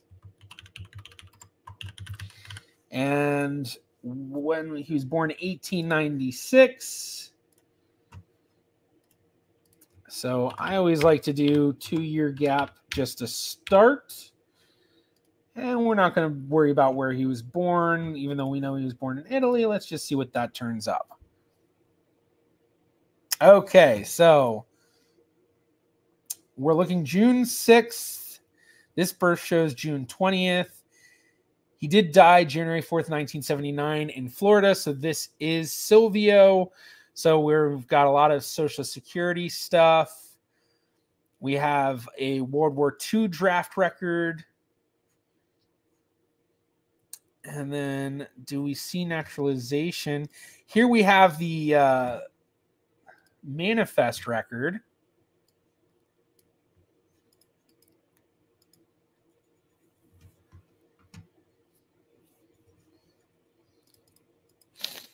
So let's see. Where's Silvio?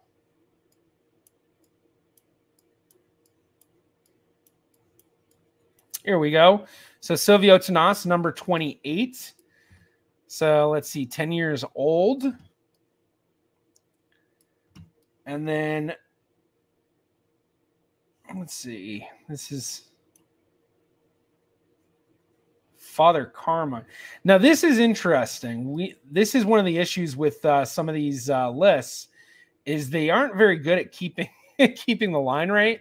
So the person said that um, Father as Babasta, Batista, or Carmine. And the reason for that is because here, this is the spot of who's the closest relative back in your home country. So going the name and complete address of nearest relative or friend in country where uh, alien came from. Oh, something in my eye. And so down here, what they're saying is we see Father Carmine, Father Baptista, and you can't quite tell because it's this line here is it Father Carmine or Father Batista? Now, I think it's probably Carmine because we see one, two, three, one, two, you know, it ends at the third, so it's probably that. Um, but then we get where they coming from or where, where that person lives. So likely where that person is from. And then when we go to the next page, remembering line 28, we get more information. Um, so just going through the top just to show what is whether in possession of $50 and if less, how much, whether ever before in the US, and if so, when and where, whether going to a relative and friend, where, and then a lot of other stuff. And so going back down to 28, we see that he's got $25 on him, never been in the United States, visiting cousin Giovanni Sunin or Lunin, which is what they mentioned. And then they have all of this other information and where they came from in Italy. So this is giving a whole lot of stuff. And let's jump back to the question page. So with this information from what they said, I've never seen or heard those names before. Well, now we have a whole lot of new information that they didn't have before that they can look into. For one, they have the family names. They have this, you know, Baptista, Batasta, or Carmine. I think it's probably going to Carmine. Most specifically, they have Giovanni Lunin. Um, even better, uh, with Giovanni Lunin, it gives.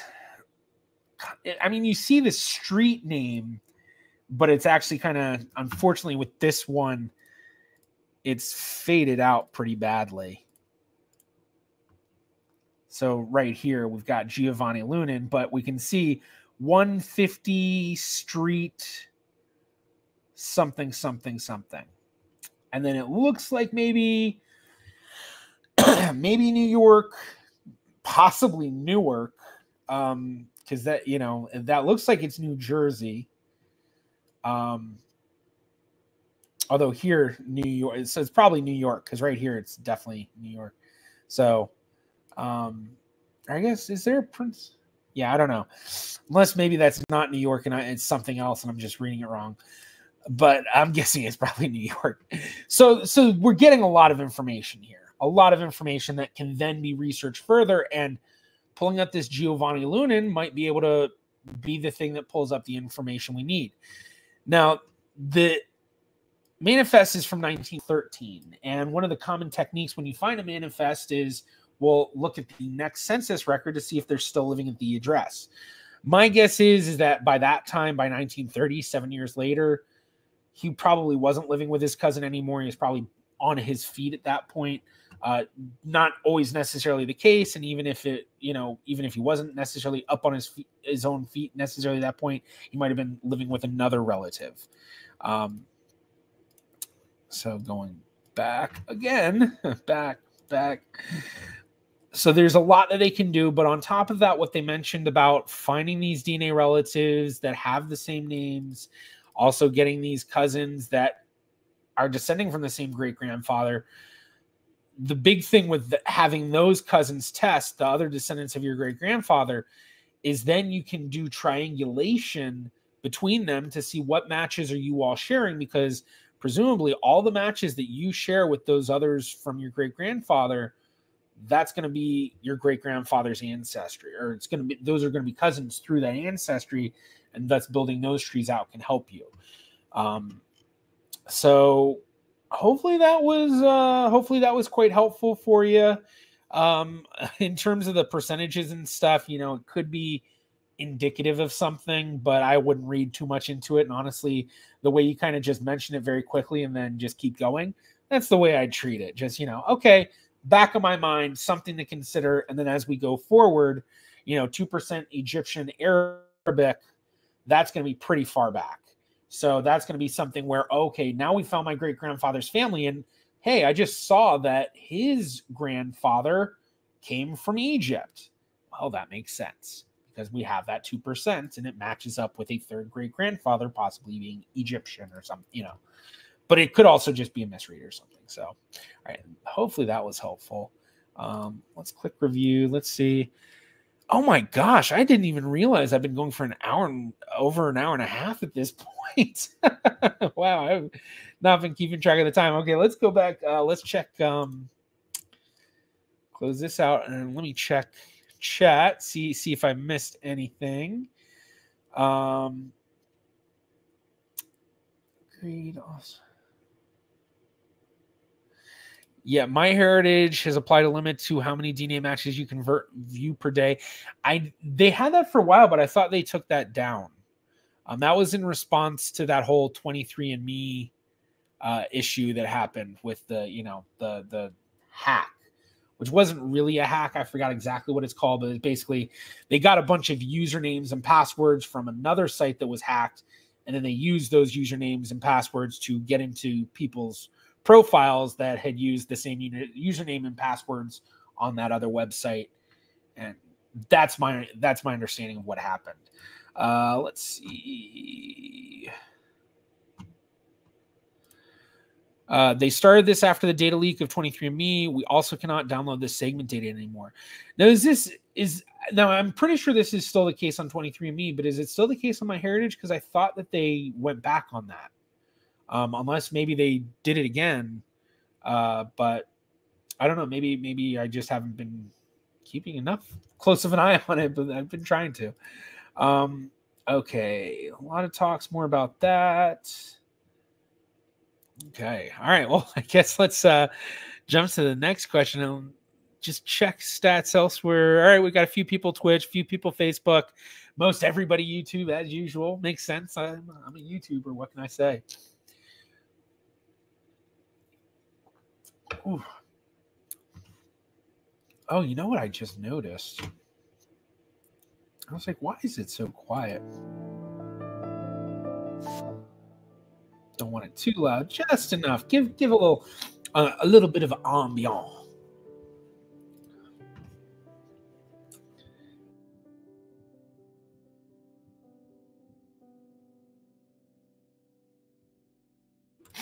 All right.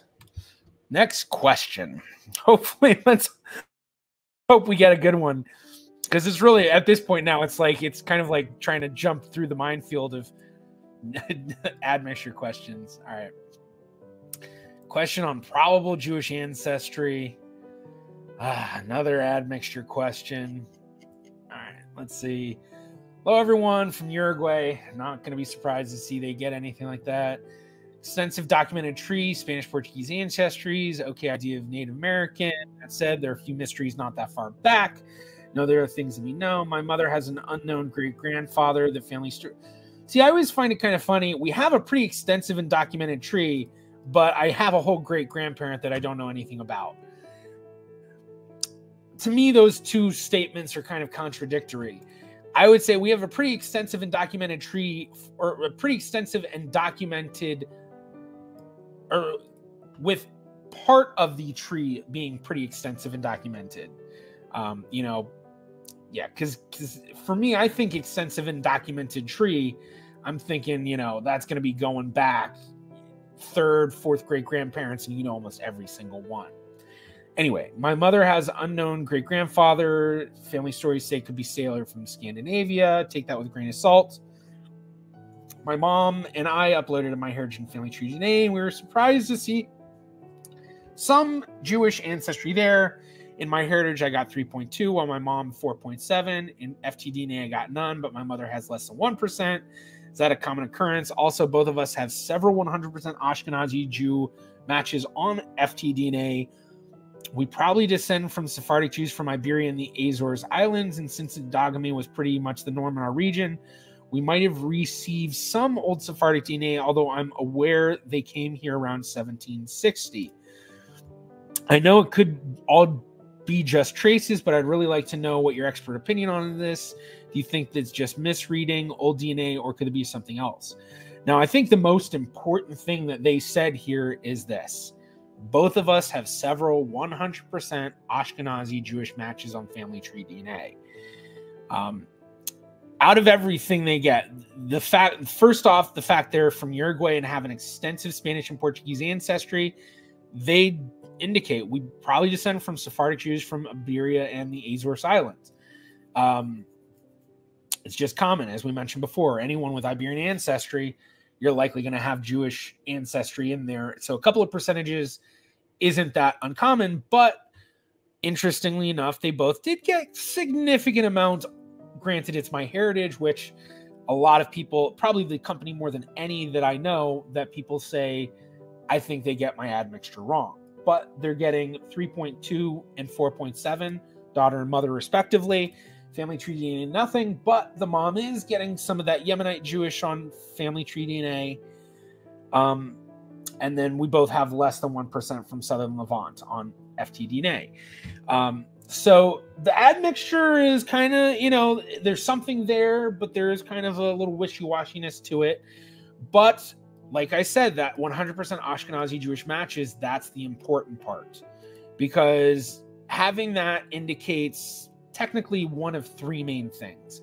One, these Ashkenazi Jewish matches are just false positive matches that are just showing up because of something happening with the DNA test, whether it be part of that margin of error, the 1% margin of error, um, whether it be just the difficulty of deciphering DNA, although you have your mom tested, so hopefully yours is phased. Uh, but uh, assuming that it's unphased DNA, which I think MyHeritage does automatic phasing, but I could be wrong. Maybe that's 23andMe. Um, but once you do phasing, that could change things because um, when they're reading the DNA and going through it, you have your DNA from your mom and your DNA from your dad, but they can't tell which is from which.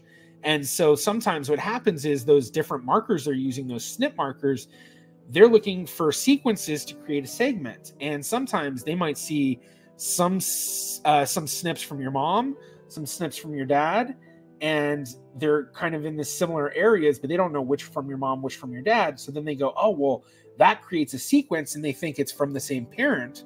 And then all of a sudden you have a false positive ma- segment just because it didn't know that, well, this part is actually from mom, this part's from dad.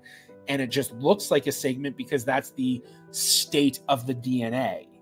Um, so that's that's if you've ever heard IBS, identical by state, that's what that means. Um, so basically, when you phase your DNA, then the system goes, oh, wait, this is from mom, this is from dad, that's not a segment. And they take it apart and then they're able to figure out what it is exactly. So that's how you can sometimes get some false matches. Um, but looking through the results, I mean, you kind of already said it, you know, yeah, Ashkenazi, yeah. So, uh, well, I guess let me let me see what what else do they have yeah, nothing, nothing else really too too crazy uh, different. Um, so yeah, so what can you do? Uh, or yeah, do you think this? Mi- sorry, do you think this could be just misreading old DNA, or could there be something else there? All right, so the first thing I said could be one of three things. The first thing was that it's just a false match uh, to these Ashkenazi Jewish matches. The second thing is that it is as what you're kind of hypothesizing in that this indicates that you have Jewish ancestry because if they're 100% Ashkenazi Jewish, that means almost all of their ancestry was Jewish, and thus you likely descend from shared common Jewish ancestry. The third option is that these Ashkenazi Jewish matches of yours, even though they're getting 100% or close to 100%, they may still have non-Jewish ancestry be, uh, er, because you know when it comes to your DNA, recombination makes it so that once you get so far back with your ancestors, you're going to start finding more and more that they are truly your ancestor, but you inherited no DNA from them because it was filtered out after so many generations of recombination. And so what what I'm basically saying is that they may have uh, all almost all Ashkenazi ancestry, but then they have some sort of a European ancestor in there that just happens to also be one of your ancestors, and that's why you're connecting. So three main things is you could be matching because it's false, could be matching because you both have shared Ashkenazi Jewish ancestry, or not even Ashkenazi, but just Jewish ancestry, and the third is because you all have shared European ancestry. Um, so the the way that I would go about it is you have these 100% Ashkenazi Jewish matches. You only mentioned being on MyHeritage and Family Tree DNA. So I'd highly recommend upload to GEDmatch, upload to Geni.com, upload to Living DNA, and see what matches you get there as well. Don't worry too much about the admixtures. I mean, you can take a look at them, see, am I getting any sort of Jewish percentage that might be indicating, yeah, I am on the right path? Because the more tests that give you that percentage, the higher confidence can be, but it's not going to put your confidence that much higher. I mean, we're talking about maybe, uh, you know, add add like a half a percentage point of confidence when you get another admixture test saying, yeah, we're seeing some Jewish ancestry there too. But what you want to do is basically get as many Ashkenazi Jewish these Ashkenazi Jewish matches. These, I wouldn't, I, would say over seventy five percent. Um, where it's basically the high majority of their family is going to be Ashkenazi Jewish get a whole bunch of them and start to see if you can find a commonality of family between them. Basically, can you find that, you know, certain DNA matches of yours are all coming from the same shared ancestry? Uh, if that's the case, then you're able to then build their family tree, find out how they're connected. So maybe maybe you find some of these 100% Ashkenazi Jewish matches and then you look into it and you find out, oh, well, actually, three of them are a set of first cousins. They're all first cousins to each other and they all share these grandparents, but they all have different parents. So then you know that, okay, whatever that grandparents' family is, that's the side of their family that you're going to be related to them through. And on your side of the family, assuming you have matches beyond just your mom, look at see what shared matches that you know from your family that they're matching with. So you say here the mother is an unknown great or my mother has an unknown great grandfather so you have an unknown second great grandfather. Well then get a bunch of your uh, cousins from that second great grandfather to test. And then if they're also matching these ashkenazi jewish matches in similar amounts then you have much more confidence that not only are you on the right path but it also seems to be from this unknown great grand your unknown second great grandfather your mom's unknown great grandfather and so then you can take it from there. So there is a way you can go about it. Now granted if it is quite distant then that's going to mean that um, you know you are dealing with the possibility of it being difficult to find matches that are connected to each other i guess you could say. But looking at the MyHeritage results just to give another view of things you have 3.2%, your mom has 4.7%. And just looking at the recombination levels, and let, let me throw this banner up here because I know I still have this banner. These are the percentages we're looking at. We have 25%, 12.5, 6.25, 3.125, and so on as we go back. And so with this person uh, having their mom at 4.7, because you always want to look at the older generation to get the better idea, because recombination can be weird. So with mom at 4.7, well, that's going to be right between second and third great grandparents. So that means that if this is true, that this is coming from let's let's let's be more specific. So saying that this is true and coming from one ancestor of your mom, we'd be looking at most likely a second or third great grandparent to your mom. And well, we're looking at this being a mystery of an unknown great grandfather, well, then that would mean that this could possibly be that unknown great grandfather's father or mom. And maybe that's also why it's unknown because it's not uncommon where if back in those times someone who was Jewish and not Jewish had a baby together, they weren't going to be together. That baby wasn't going to know. And in fact, in my own family, this has been a very common, this has probably been one of the most common NPE solves that I've done, which has happened on many branches of my family where I had a Jewish cousin, often a Jewish male cousin, who impregnated a Catholic woman. And then that child then grew up not knowing their their father because they weren't told who the father was, whether the the mom knew or not. And this, let's see how. I mean, it's at least five times in my family that I can think of that happening. Interestingly enough, two coming from one branch and then three coming from another branch. So it's actually kind of the same branches, all in Philadelphia, funny enough. But it basically, well, actually, no, that's that's wrong. Not Philadelphia, somewhere from Boston.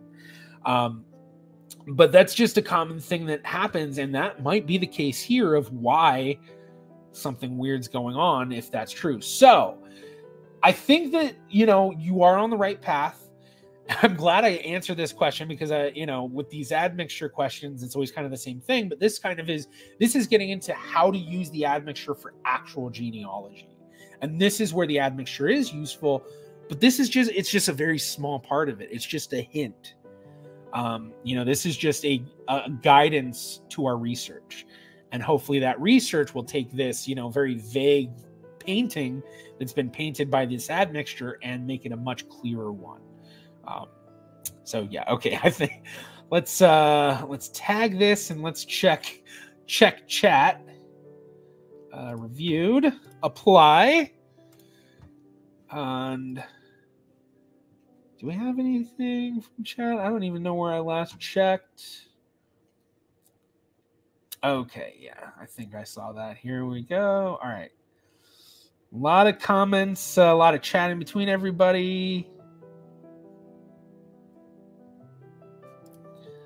Let's see. Okay. Um, all right. I do feel I see a number of, you know what? Oh, gosh. I just realized.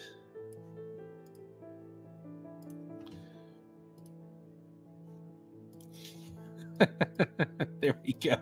I just realized that I've I've had it where I've just been like off to the side Okay, I think that's going to look a lot better. All right. I do feel like I see a number of 100% Ashkenazi Jewish relatives on MyHeritage than I would expect, usually as low confidence matches. I wish I could figure out if it's IBS or actual proper matches. Yeah, I, I mean I, that that is uh, that is not something that I have personally seen, but then again, I've also you know a lot of the kits I run are mostly Jewish, but I do run a lot of non-Jewish kits on MyHeritage, and um, I don't know that that that that is definitely something that might bring a lower confidence to you in terms of having a lot of 100% Ashkenazi mat- Jewish matches. Is it, you know it certainly brings up the confidence that that percentages might be true, but then if you know there is a low confidence with these matches, then that's not going to bring the confidence up as much. Um, Oh, and then continuing, Dre says we have some Southern European, and I've had some trace Ashkenazi. I've had some trace Ashkenazi Jewish, and my mom has some trace Coptic Egyptian. So I feel like Sephardic ancestry is possible, but hard to determine. Yeah, I mean, in my experience with the Sephardic ancestry, it it comes out as a hodgepodge of a lot of different things that always seem to make sense. It always seems to come out as a hodgepodge of like Mediterranean, North African, Middle Eastern, and then sometimes you might get a little bit of uh, other Asian or something thrown in there. Uh, but it's it's not necessarily proof of it. It's just, you know, I, have I see a lot of people without Sephardic Jewish ancestry with readings like that, and then I see a lot of people with Sephardic Jewish readings that have that too. So it, it, it's not something that you can point at and be like, yes, that means that I have Sephardic Jewish ancestry um, because it could be something else. But if you do have Sephardic Jewish ancestry that you're expecting and you don't get it, but you get percentages similar to it in those readings, that certainly makes sense. So it's, yeah. Okay. Um, hi, Jarrett. I posted recently about Finnish ancestry on my mom's side, but I didn't add the review sticker, so you might not have seen it. Oh yeah, I mean, if I get you know, if I get to it, I'll get to it. I I'm not worried about the stickers. I try to put those on when I can. If I see people haven't haven't done that in a while, and then for a while, my mods and admins were helping me with that too, but I don't know if they are either. But yeah, I mean, just to say it again, um, you know, with this stream, I actually am going to go for a little bit longer. I know I've been going for almost two hours, but I don't know. I'm just feeling like it's flowing. Uh, but with this stream, I, I try to answer, uh, you know, questions through chat. I don't guarantee it. But if you do a super sticker chat or whatever it's called through YouTube, I do guarantee I will answer those. Um, and then in terms of the stuff through Reddit, it's gonna it, it's it's gonna vary. Um, you know, the way that I'm doing it, the way we start out is we go through the top ones from the past month, uh, which we've already done today. So we did these top three ones, and then I think once we kind of get past the top three, then we can go uh pat you know jump to the the new ones then basically what we were just looking at. Um so you know if you posted recently no you know it might be a while before before i get to it unfortunately. Um so all right let's get back down here and answer more questions it's kind of funny i've noticed that the numbers have been going up and up and up much uh as, as I've been going longer, so that's that's good. Um, what's this? Oh wait, yeah, that was one that I said I wasn't going to because it's too much. Um, and since we've been going a while for that, let's wake everyone up.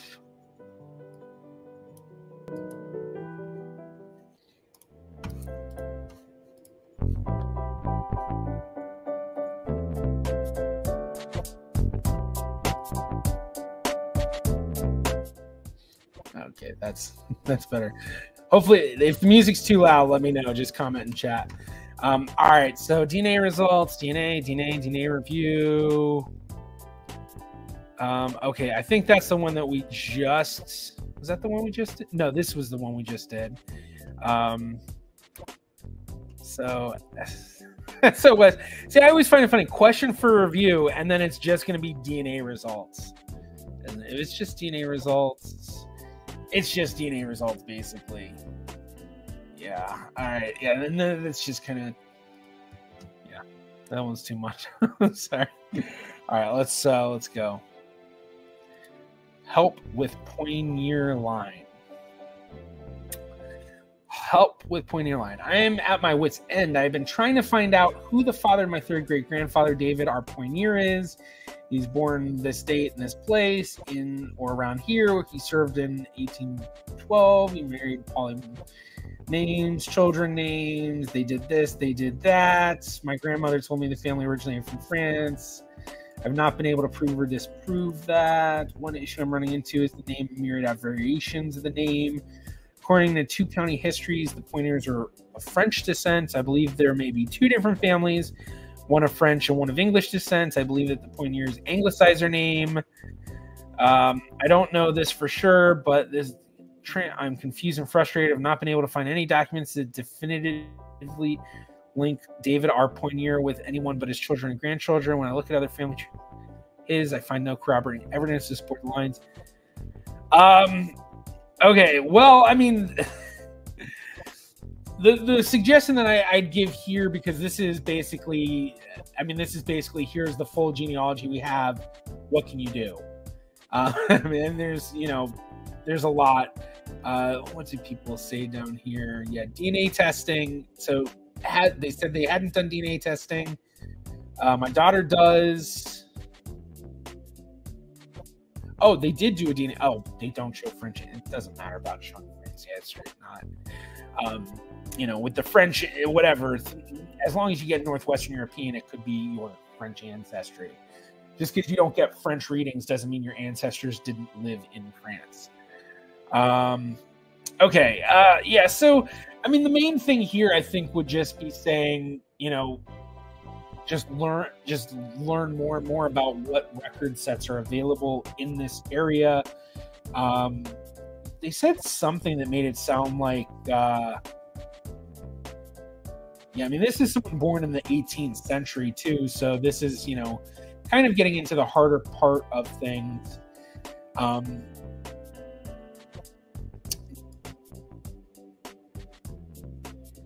yeah. Yeah, I mean, this is just, it's a matter of just trying to learn, find more and more records available for this area uh, to see can you find anything that may give you a new hint um, something that I think a lot of people that will kind of not look into because they're very difficult to find sometimes and can be very difficult to go through uh, are notarial records. Um, so you'd have to find out if if any of those are available. Basically, you know, records from the notary, and um, beyond that, doing the DNA testing and matches that could help you as well. You know, you're looking at this Poinier family, and you have this question. You know, were there two families or not? And that could easily be solved by doing a Y-DNA study. Basically, get a male Poinier from your side and a male Poinier from this English side you think might be there, and have them do a Y-DNA test. And if they come back and match, you know that it's the same family. If not, you don't know. Or not you don't know. But if they don't match, then you know they are different families. As well, that could be helpful for determining is it French ancestry? Is it something else? Um, most especially if you're able to do like a whole genome sequence or the big Y, so you can do the really extensive wide stuff, not just getting a haplogroup, but also getting matches and even more being placed within the phylogenetic tree. So basically, the big family tree of haplogroups and being put further, further downstream. So hopefully, hopefully that helps. Um, unfortunately, with this one, it's kind of a matter of just doing like a lot of genealogy research and to do that, especially with something that seems to be have seems to have been so researched so in depth, you know, I'd have to if this person hired me to work on this, this would be the type of thing where I'd tell them, okay, before we get to work, you need to send me everything you have. Um, you know, try to make it as as easily understandable as possible because when you hire a researcher to do stuff, they need to spend time reviewing it. And that that's part of their time. They're going to charge you for that because they, you know they need to learn what's going on and figure it out see what you've gone over. And then once they do that then they get into the research. And so you know you need to be very succinct in what you send them uh, but you also need to make sure that you include as much as possible um, because like let's say you think you know what? I don't need to worry about sending them all these records that i found and then you send them all the information and then they're going to come back to you and give you a report give you a lot of documents that you may have already found because they didn't know you already found them because you didn't send it to them. Um, so yeah just a, I guess a good, good point of information for uh, people thinking about considering hiring professional genealogists or something.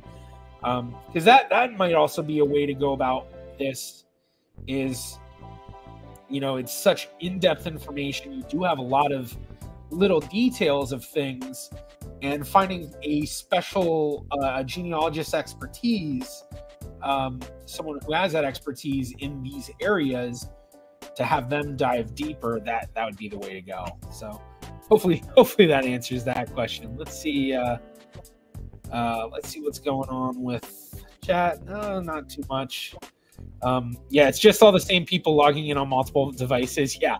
So uh, yeah, for for those who don't know, I, I said it a couple of times, but I'm streaming on three platforms right now. I'm streaming through YouTube, which most of you are watching from, but I'm also streaming on Facebook and Twitch.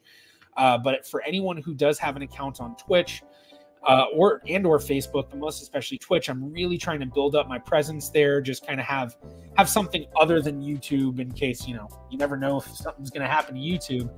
Uh, but just build up something there. So if you are on Twitch uh, or Facebook, go over, uh, find the stream there, like, follow, subscribe, do what you know, do whatever to. It super helps me out a lot, and most especially if you're on Twitch. If you can comment, that'd be awesome.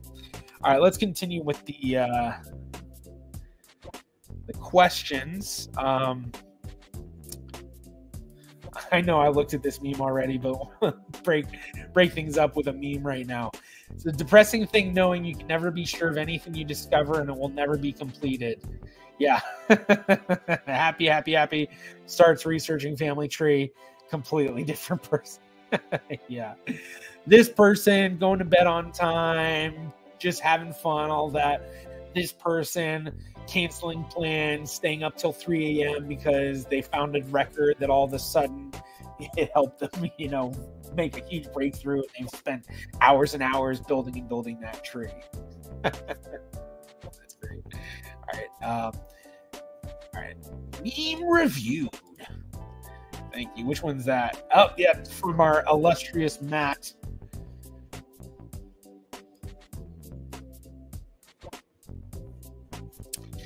Okay. Um, who is Sarah Jean? Who is she? Ah, just followed on Twitch. Thank you very much, Cal Rock, for the follow. Um, you'll have to let me know. I have on Twitch, I have the alerts set up to pop up to say when someone follows. Let me know if that actually came up. I don't know how well I actually have all that stuff. So now it's Callum. Thank you, Callum. Thank you very much. All right. Who is Sarah Jane? I need help finding my great grandmother. My mother always told me my middle name, Ross, great name by the way, was a family name. My sister, or her sister, my aunt, told me it was their grandmother's maiden name.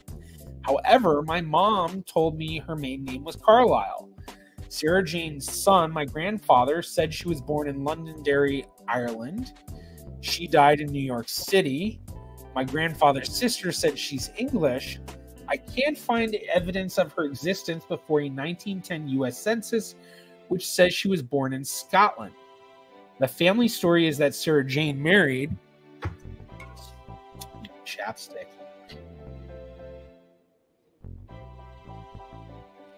There we go. Getting dry out here in North Kakalaki. Okay, the family story is Sarah Jane married a John Smith uh, born in Easton and uh, wherever England, died at sea 1886, and had three kids with him John and my great grandfather, James Mather Gillies. Then served together in Queen Victoria's Guard in India.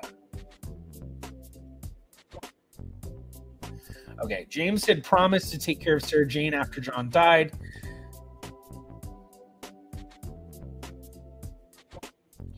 Oh, okay. Yeah, I was like, I was confused here. Okay. So the family story is Sarah Jane married a John Smith and they had three kids.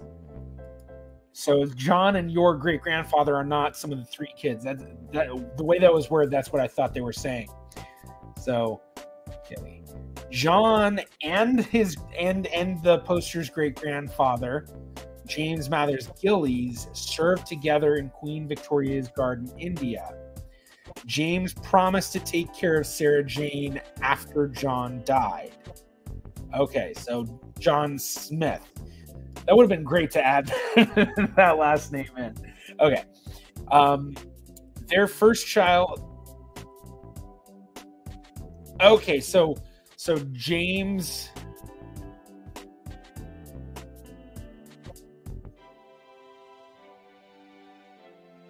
Okay, so she married James then and had a kid with him?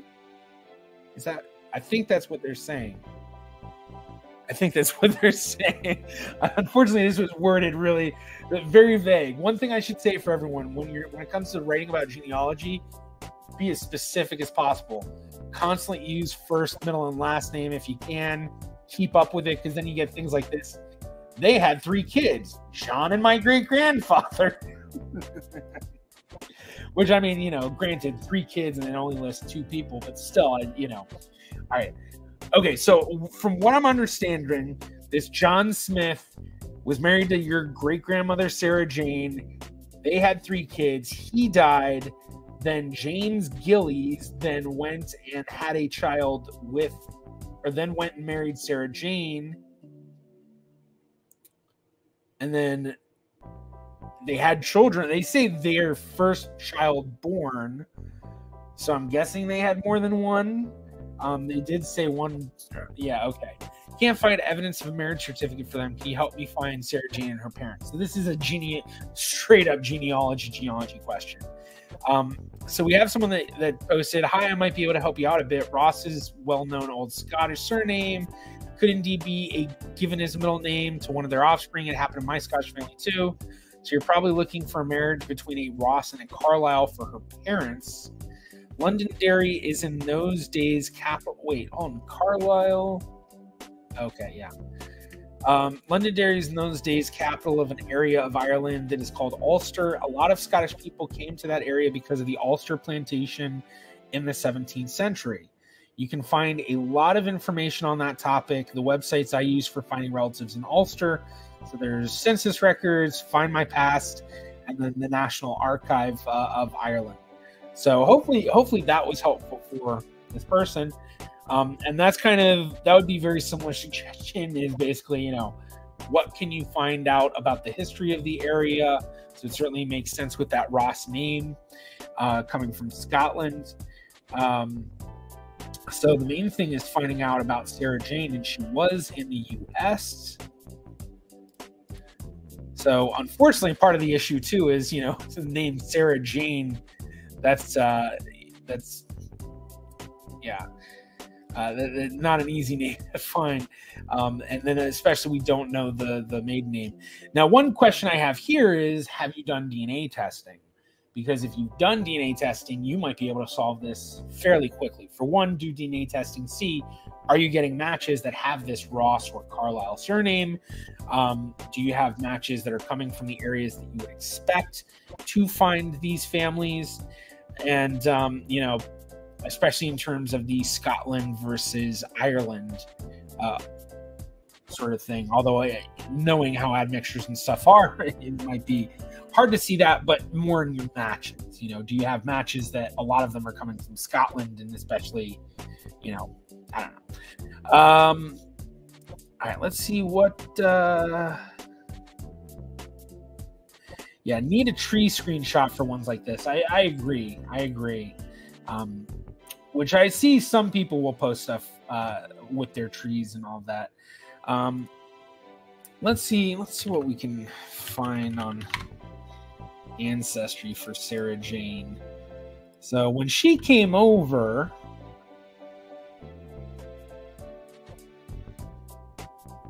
when did she come over? So her existence in the 1910 census Sarah Jane Smith. Jeez.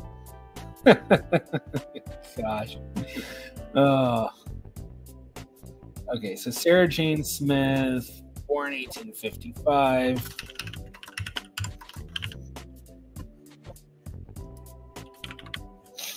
Let's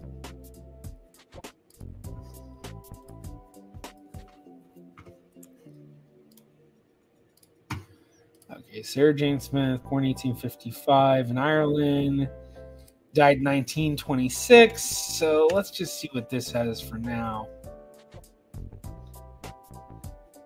Just we'll just we'll make that as specific as possible for right now. And it has oh 1200. Let's see if we can get it down any further. Um, all right, well, let's just see if we can find her one of these trees, 1926 exact.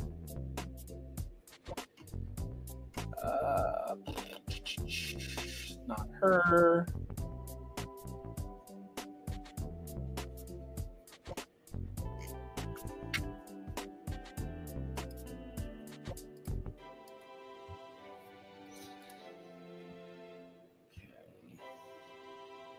What was, let's double check. Okay, what was the second husband name's Gillies? Let's search Gillies instead of Smith.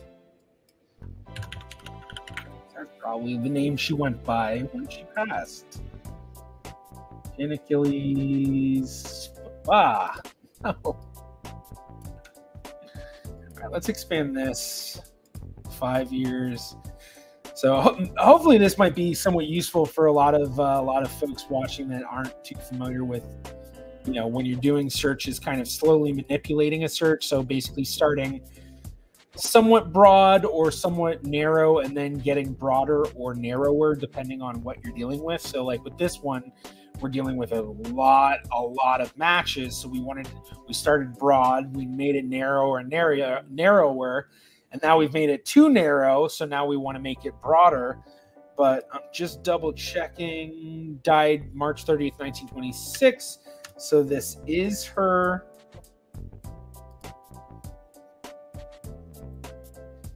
So we've got extracted death. We know she's in Manhattan.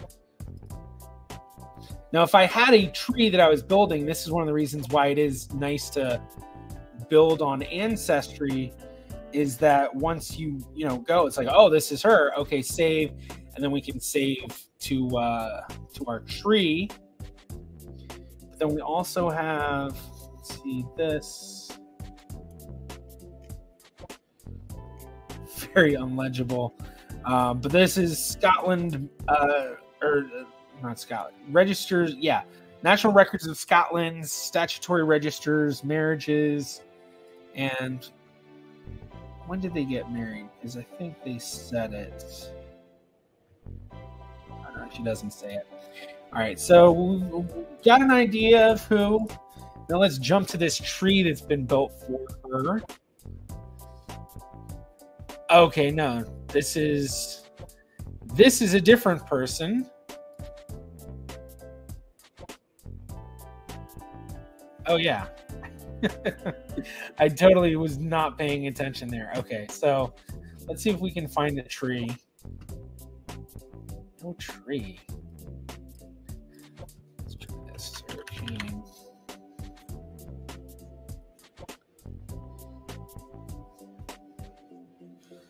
Okay, we're gonna try this actually. We're gonna up this to 10, and then we know the spouse's name is Gillies.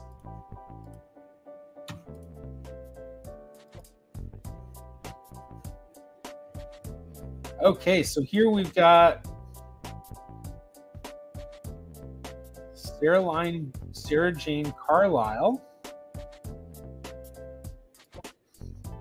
Father Ross Carlisle. So this might be ah. So this is uh, yeah. This is uh, this is our OP's tree.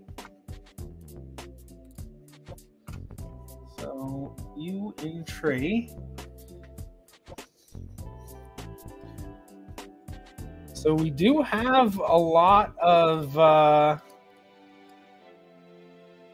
information on the children. We have these siblings, which that's one thing I wonder how much has this person done of what's known as the fan method friends, associates, neighbors. Basically, well, some people say family, associates, neighbors, but yeah, basically research the known acquaintances and friends and, and people that they interacted with, including their siblings. So I see there's nothing built out on the siblings. So how much have you built out on the siblings? Um, going back to read what it says, doesn't say anything about this person researching the siblings. So that'd be one thing I would do. Now let's take a look at what records they have attached see if maybe we can get an idea of something else that they could. So, all right, we've got New York Archdiocese of New York records. So this is uh, for child. We have baptisms. So for child for through her first spouse. Um, let's see. Um, is that? No, they're smooth. This no, where is it? Why am I missing this? what am I missing? Oh, that's right. That's right. Okay. It's um so we're looking for child Herbert. I was looking for female. Okay, so this is so John Sarah Smith, Elizabeth Collier. By whom? Okay, so not really much information here. So basically, what this is one of the things I do when if I'm starting out researching a tree that has already been worked on, I want to go in and I review everything. First off, I'm seeing, you know, does it make sense with what's there? You know, could this be a record that just same name but different person? Um, and then, all right, so 1910 is the earliest that they have. A transport list for a son. So yeah, so 1910 is the earliest they have. So let's see what it says in terms of when they arrived in the U.S. because that's that's going to be where my main thought is going to go. Is when did they arrive and can we find anything? So here we have the family. We've got James, Gillies, Sarah, their children, Marion, Edward, George. We show that they're from Scotland. We show for Sarah that her father's from Ireland and mother is from Scotland. we have a naturalization of 1872. No, that's got to be 1892 because they weren't they weren't in the U.S. in 1872. So this is probably 1892 or it, so uh, for a second I was thinking maybe it's 1892 and it's just the rest of that circle for the 9 is not there. But what it looks like is it's the wrong date. So there's two possibilities here. Either we're looking at incorrect information on the census because we know for a fact in the 1880s that they were in uh, in, in, the UK. Well, I guess it wasn't the UK then. they, you know, they were they were not they were not in the US, so couldn't be them. Uh, or either either the date's wrong or it couldn't be them. Hey, what are you doing, little dog? What are you dogs barking at? Everyone throw some dog emojis in the chat for the puppy boys. Uh, so okay, so eighth, all right, give me one second. I need to let the dogs outside. let them out back.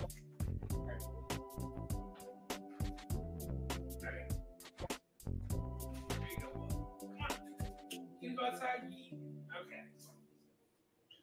Crazy little dogs. Crazy little dogs I've got. All right, so let's take a look. And now we have the 1872 date here. This is the 1910 census. We know Sarah was married before James. So let's look at this information of how long they were married. Well, they were married for 27 years, according to this, which means that that would have been 1883. And does that match up with what we know? Uh, not quite. Um, but it says first child born in New York City, 1888. Um, according to this, yeah, that would be true, assuming that that is their child, because we know Sarah, Sarah was married in what was it, 1880s or something? I don't. Yeah, so something weird's going on. What I, I there's I think either they were given a lot of incorrect information or this is something that um, this is something where this is just a family with the same name of Smith coming from the same area, or I guess not Smith Gillies, same name. But there are some oddities going on here that might be telling here because we do know that there were two marriages so we have this Marion and Gil and George who were the children. So they would have had to have been yeah, something something weird is going on here. So I don't know if this is the right family. So this is this is one of the things that you definitely need to consider when you're going through this information is that you want to make sure that it's matching up and any contradictions you need to you need to solve you need to figure out. So with this one you know where i was going to go with it originally was let's find our nat are they naturalized and do they have an immigration year? And we have that but it doesn't match up with what we know about the family. Um, you know with what we know let's i'm gonna jump back to that other page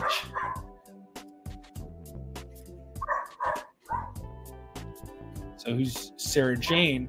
So with what we know here, for one, we're not getting a whole lot of information, but you know, it does say that where is it? Um, okay, so Sarah Jane and John Smith. John Smith dies 1886 at sea. Uh, John and the grand and her great grandfather served together in Queen Victoria's Guard in India. So I'm assuming that her her great grandfather's marriage to Sarah Jane would have been after John Smith's, thus being after 1886. Says their first child was born in New York City in 1888, which does match up with what we're seeing for the census, but I also wonder if maybe she's just getting that from the census uh, that or that's where she's getting the information from the census. But if we were to build out a timeline of these people and the people that are in this census that she has linked to her tree, I would be, I, I well, not I would be, I am questioning very much if it is truly the same family. Um, now, granted, I'm coming at it from a top down scenario where she was coming from a bottom up. Basically, I'm coming from a I'm building from the ancestor back down. She's building from herself and up. So let's see what. Uh. I was like, what is this new thing? I have not seen that before, but okay. Um, okay, so in terms of these kids, too, that's something else to look at. So that's the first Marion. So she has a picture of it, of her so it must be the the right thing because it says it. And she's born in New York City, so let's see if we can find her birth certificate through the New York um,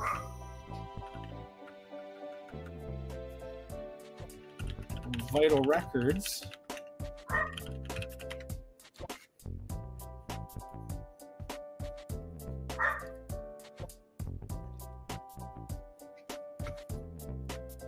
Uh, if I can find it.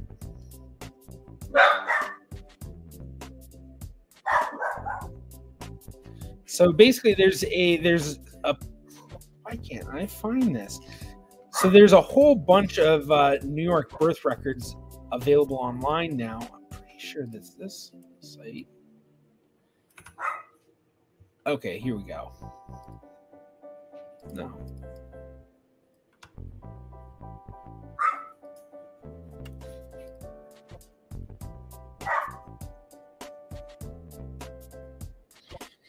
Um, okay, I'm gonna find this. I'm gonna find this a different way. um,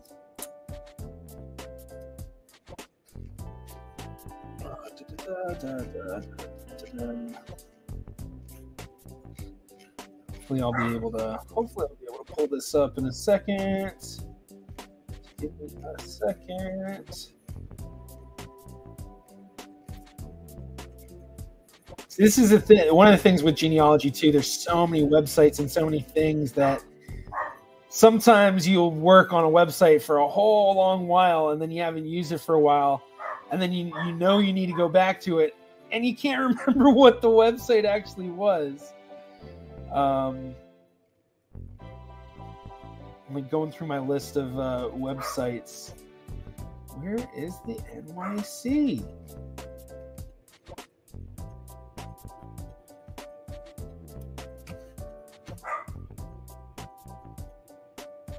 Oh, did they change the page? Is that why it's so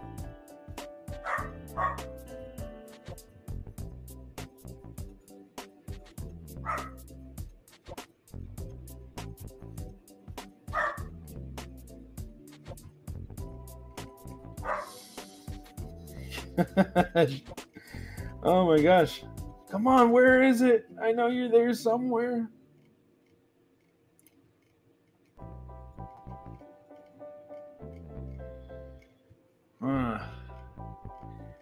It might be that they changed the website so it just looks different to me now.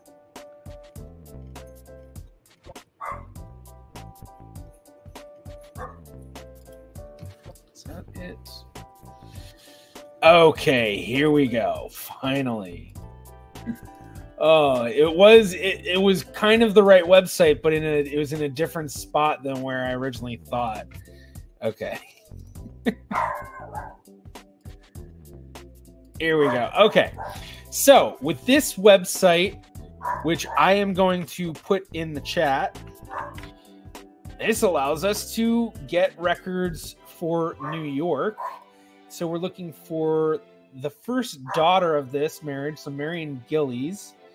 So what we're gonna do, birth, Gillies, and it doesn't let you choose all at first. Um, so let's see, where was she? I think she was Manhattan, so we'll just do Manhattan first. and she was born 1888. So let's see if she pops up. And all right, right there. Is that it? So we have John Gillies, name of child. There's no name here. We have a birth date December 4th, 1888. Does that match up? No, we're looking January 20th, 1888. And then the last name or the the mom doesn't work. So we're going to go back. Now we're going to take out the year just in case the year might be wrong. But we'll also do all. And I'm going to make it a little bit closer so we don't have to deal with as much extraneous stuff. So let's see. So we've got all these gillies and we're looking for female Marion Gillies. 1888 would be the best but it doesn't seem to be the case.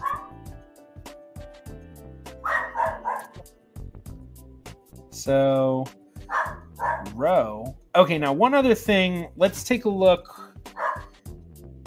Oh, wait, we don't have anything showing an address in the 1880s.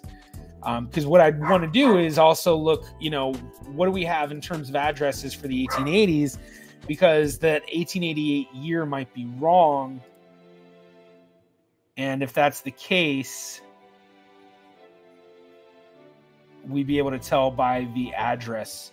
So we'll look at 1910, but they may have already moved by that point. So, street, so 135th Street is all that we get. So they're living at 135th Street. Okay, so we see 135th Street, but I keep seeing James Gillies in this row. Let's see, what's this one?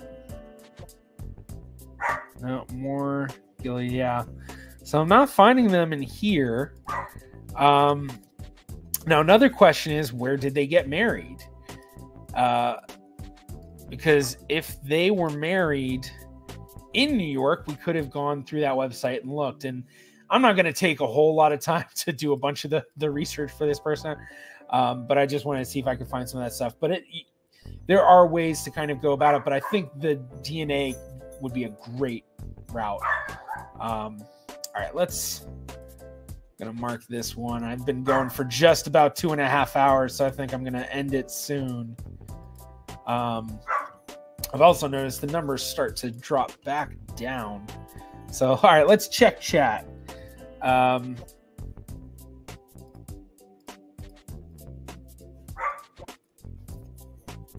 all right, we got we got some dog emojis in the chat for the dogs in the background, which my my my dog Jack is just still barking up a storm out there. And Petey, come here, Peter, come here, baby boy. He's just been hanging out with me down here. Oh, come here. Are you doing? What are you doing, silly boy? Oh, look at you. Look at you. Yeah, you're on stream. You're on the stream. So, so all right. Wow. Yeah, I've been going for two hours and 37 minutes. Jeez. So, all right. Any any any last questions or anything from people?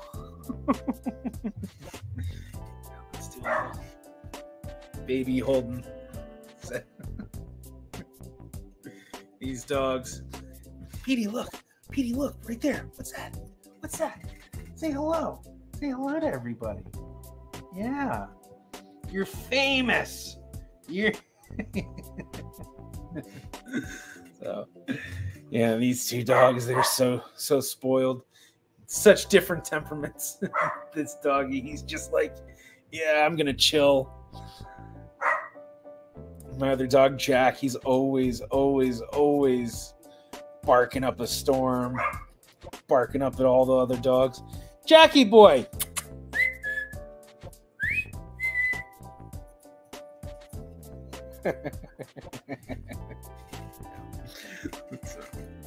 I wonder if I should if I hold my dog up like this, all the all the streams where it's just an image of the stream. Hopefully, people will uh, see the dog and be like, "Oh, we should jump in there." so, uh, one thing that uh, one thing that has not been done so far on this stream is, uh, you know, I always have a different background, a different map. And I don't know if I've seen anybody guess the map today, which is slightly surprising because I was a little worried that a lot of people would be like, "Oh my gosh, look at that map! I know that one." Um, ever done a dog DNA test? My neighbors have done one on all five of their dogs. I've actually done two dog DNA tests, and I have a video about it. So if uh, you go to my channel and let me see, oh. Good boy, good puppy boy. Um, yeah, I have one on my main channel.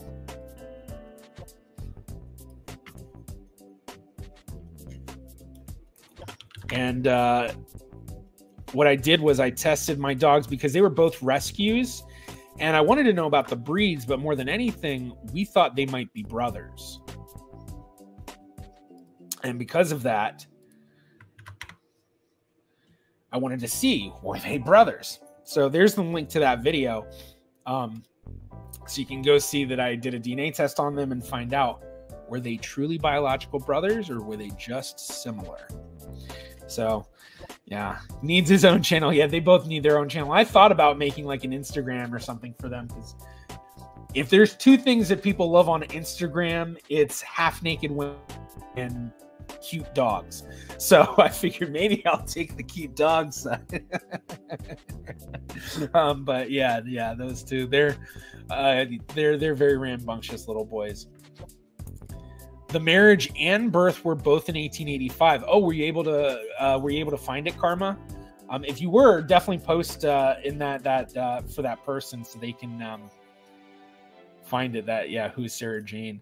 Uh, so Hi, Genie blogger. Well, hello, Jackie. I shouldn't say I'm not a blogger. I used to be. I'm a vlogger with a V, but yeah, thank you. Welcome. Uh, uh, unfortunately, you're jumping in kind of towards the end. We're going to be ending this soon. Um, but thank you for joining. Every every little bit helps. Uh, so, but you'll be able to go back and rewatch through. So, all right, yeah. So, um, yeah, I think uh, I think that's basically going to be it for today. Um, for next week, I've, I need to come up with something to do for the main channel. Wasn't sure which what I wanted to do. Um, last week, I did the uh, uh, what was it? The countries, uh, identifying the countries, doing geography tests. I talked about doing more next week, possibly, but I kind of wanted to try to find something that was a bit more genealogy wise. So the thing that I was thinking was a possibility, and maybe I'll put out a uh, poll for this, was basically building a famous person's family tree live on on stream from scratch. It's just a matter of choosing that famous person. Um, so I'll need to come up with a decent list. Any ideas of, of good famous people we should build a tree for, let me know. Um, I was thinking stuff like, you know, maybe Abraham Lincoln or, you know, I don't know, something like that. But um, yeah, so I just need to come up with an idea like that. But um, for anyone who doesn't know, I'm going to be continuing doing these streams every Friday at two o'clock. It's going to be.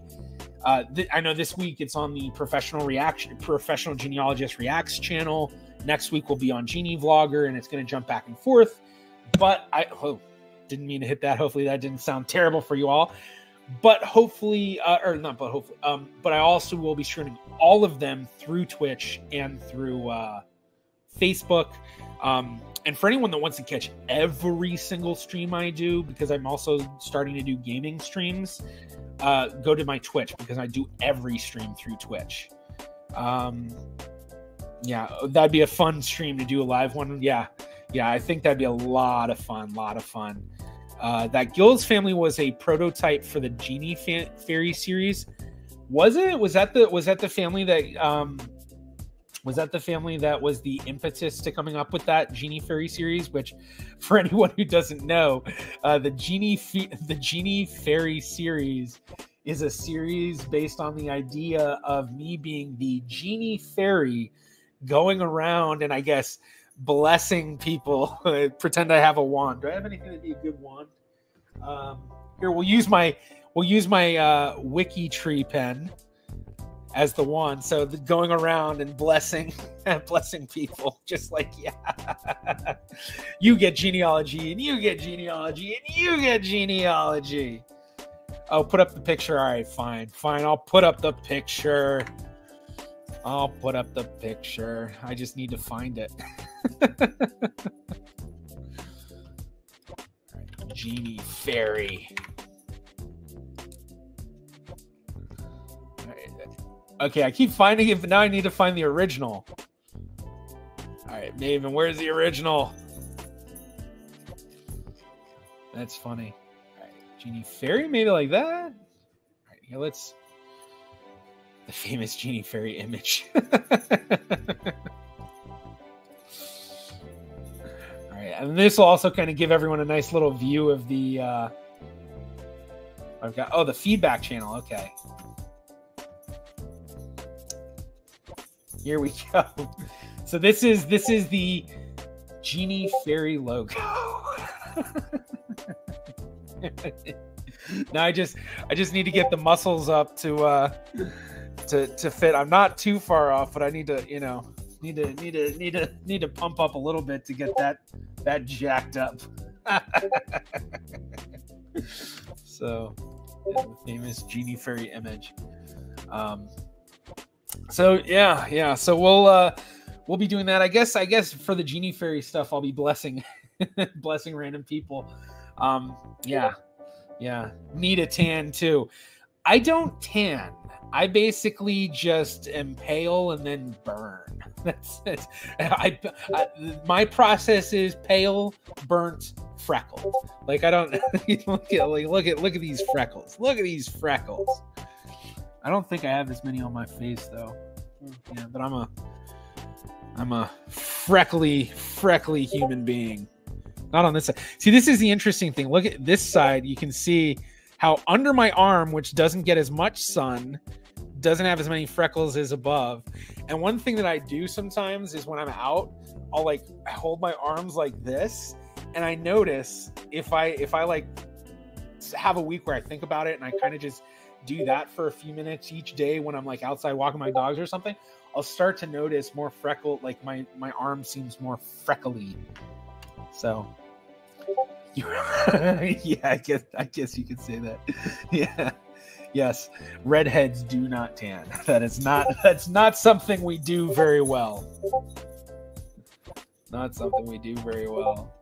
So, oh gosh, what is oh it's my discords i was like what it's all popping off so for anyone who doesn't know we've got a, a, wonderful discord going on be sure to join you can see it's very active i literally had just checked pretty much everything this morning and yeah, um, for anyone who's from the Discord, if you have the invite link and can post it in chat, would truly appreciate that. Um, so yeah, let's close that out. So, all right, well, getting close to getting close to three hours now. You should make a channel on Discord for suggestions for the celeb trees. Oh yeah, maybe maybe uh, maybe I'll do that. Um, yeah, maybe we can do that. Come up with uh, polling there to come up with a list that we then release the poll to the larger audience, and I could probably pull that through my YouTube or something. But uh, thank you so much, everyone, for being here for the stream. Truly appreciate it as always. Um, if you haven't yet, be sure to like, subscribe, follow, comment. Do you know any interaction helps? I mean, even if you dislike it, I think that helps me out anyway. um, but truly appreciate it as always, and had a lot of fun today. Still haven't heard anybody guess the map in the back, so I guess that's going up on the stream next week too. Um, but thank you so much. I'm the GeneaVlogger, and I'm out. Oh make sure to do it this way. I learned uh, I learned the other way is not so good for uh, our friends in England. So I'm out. Peace.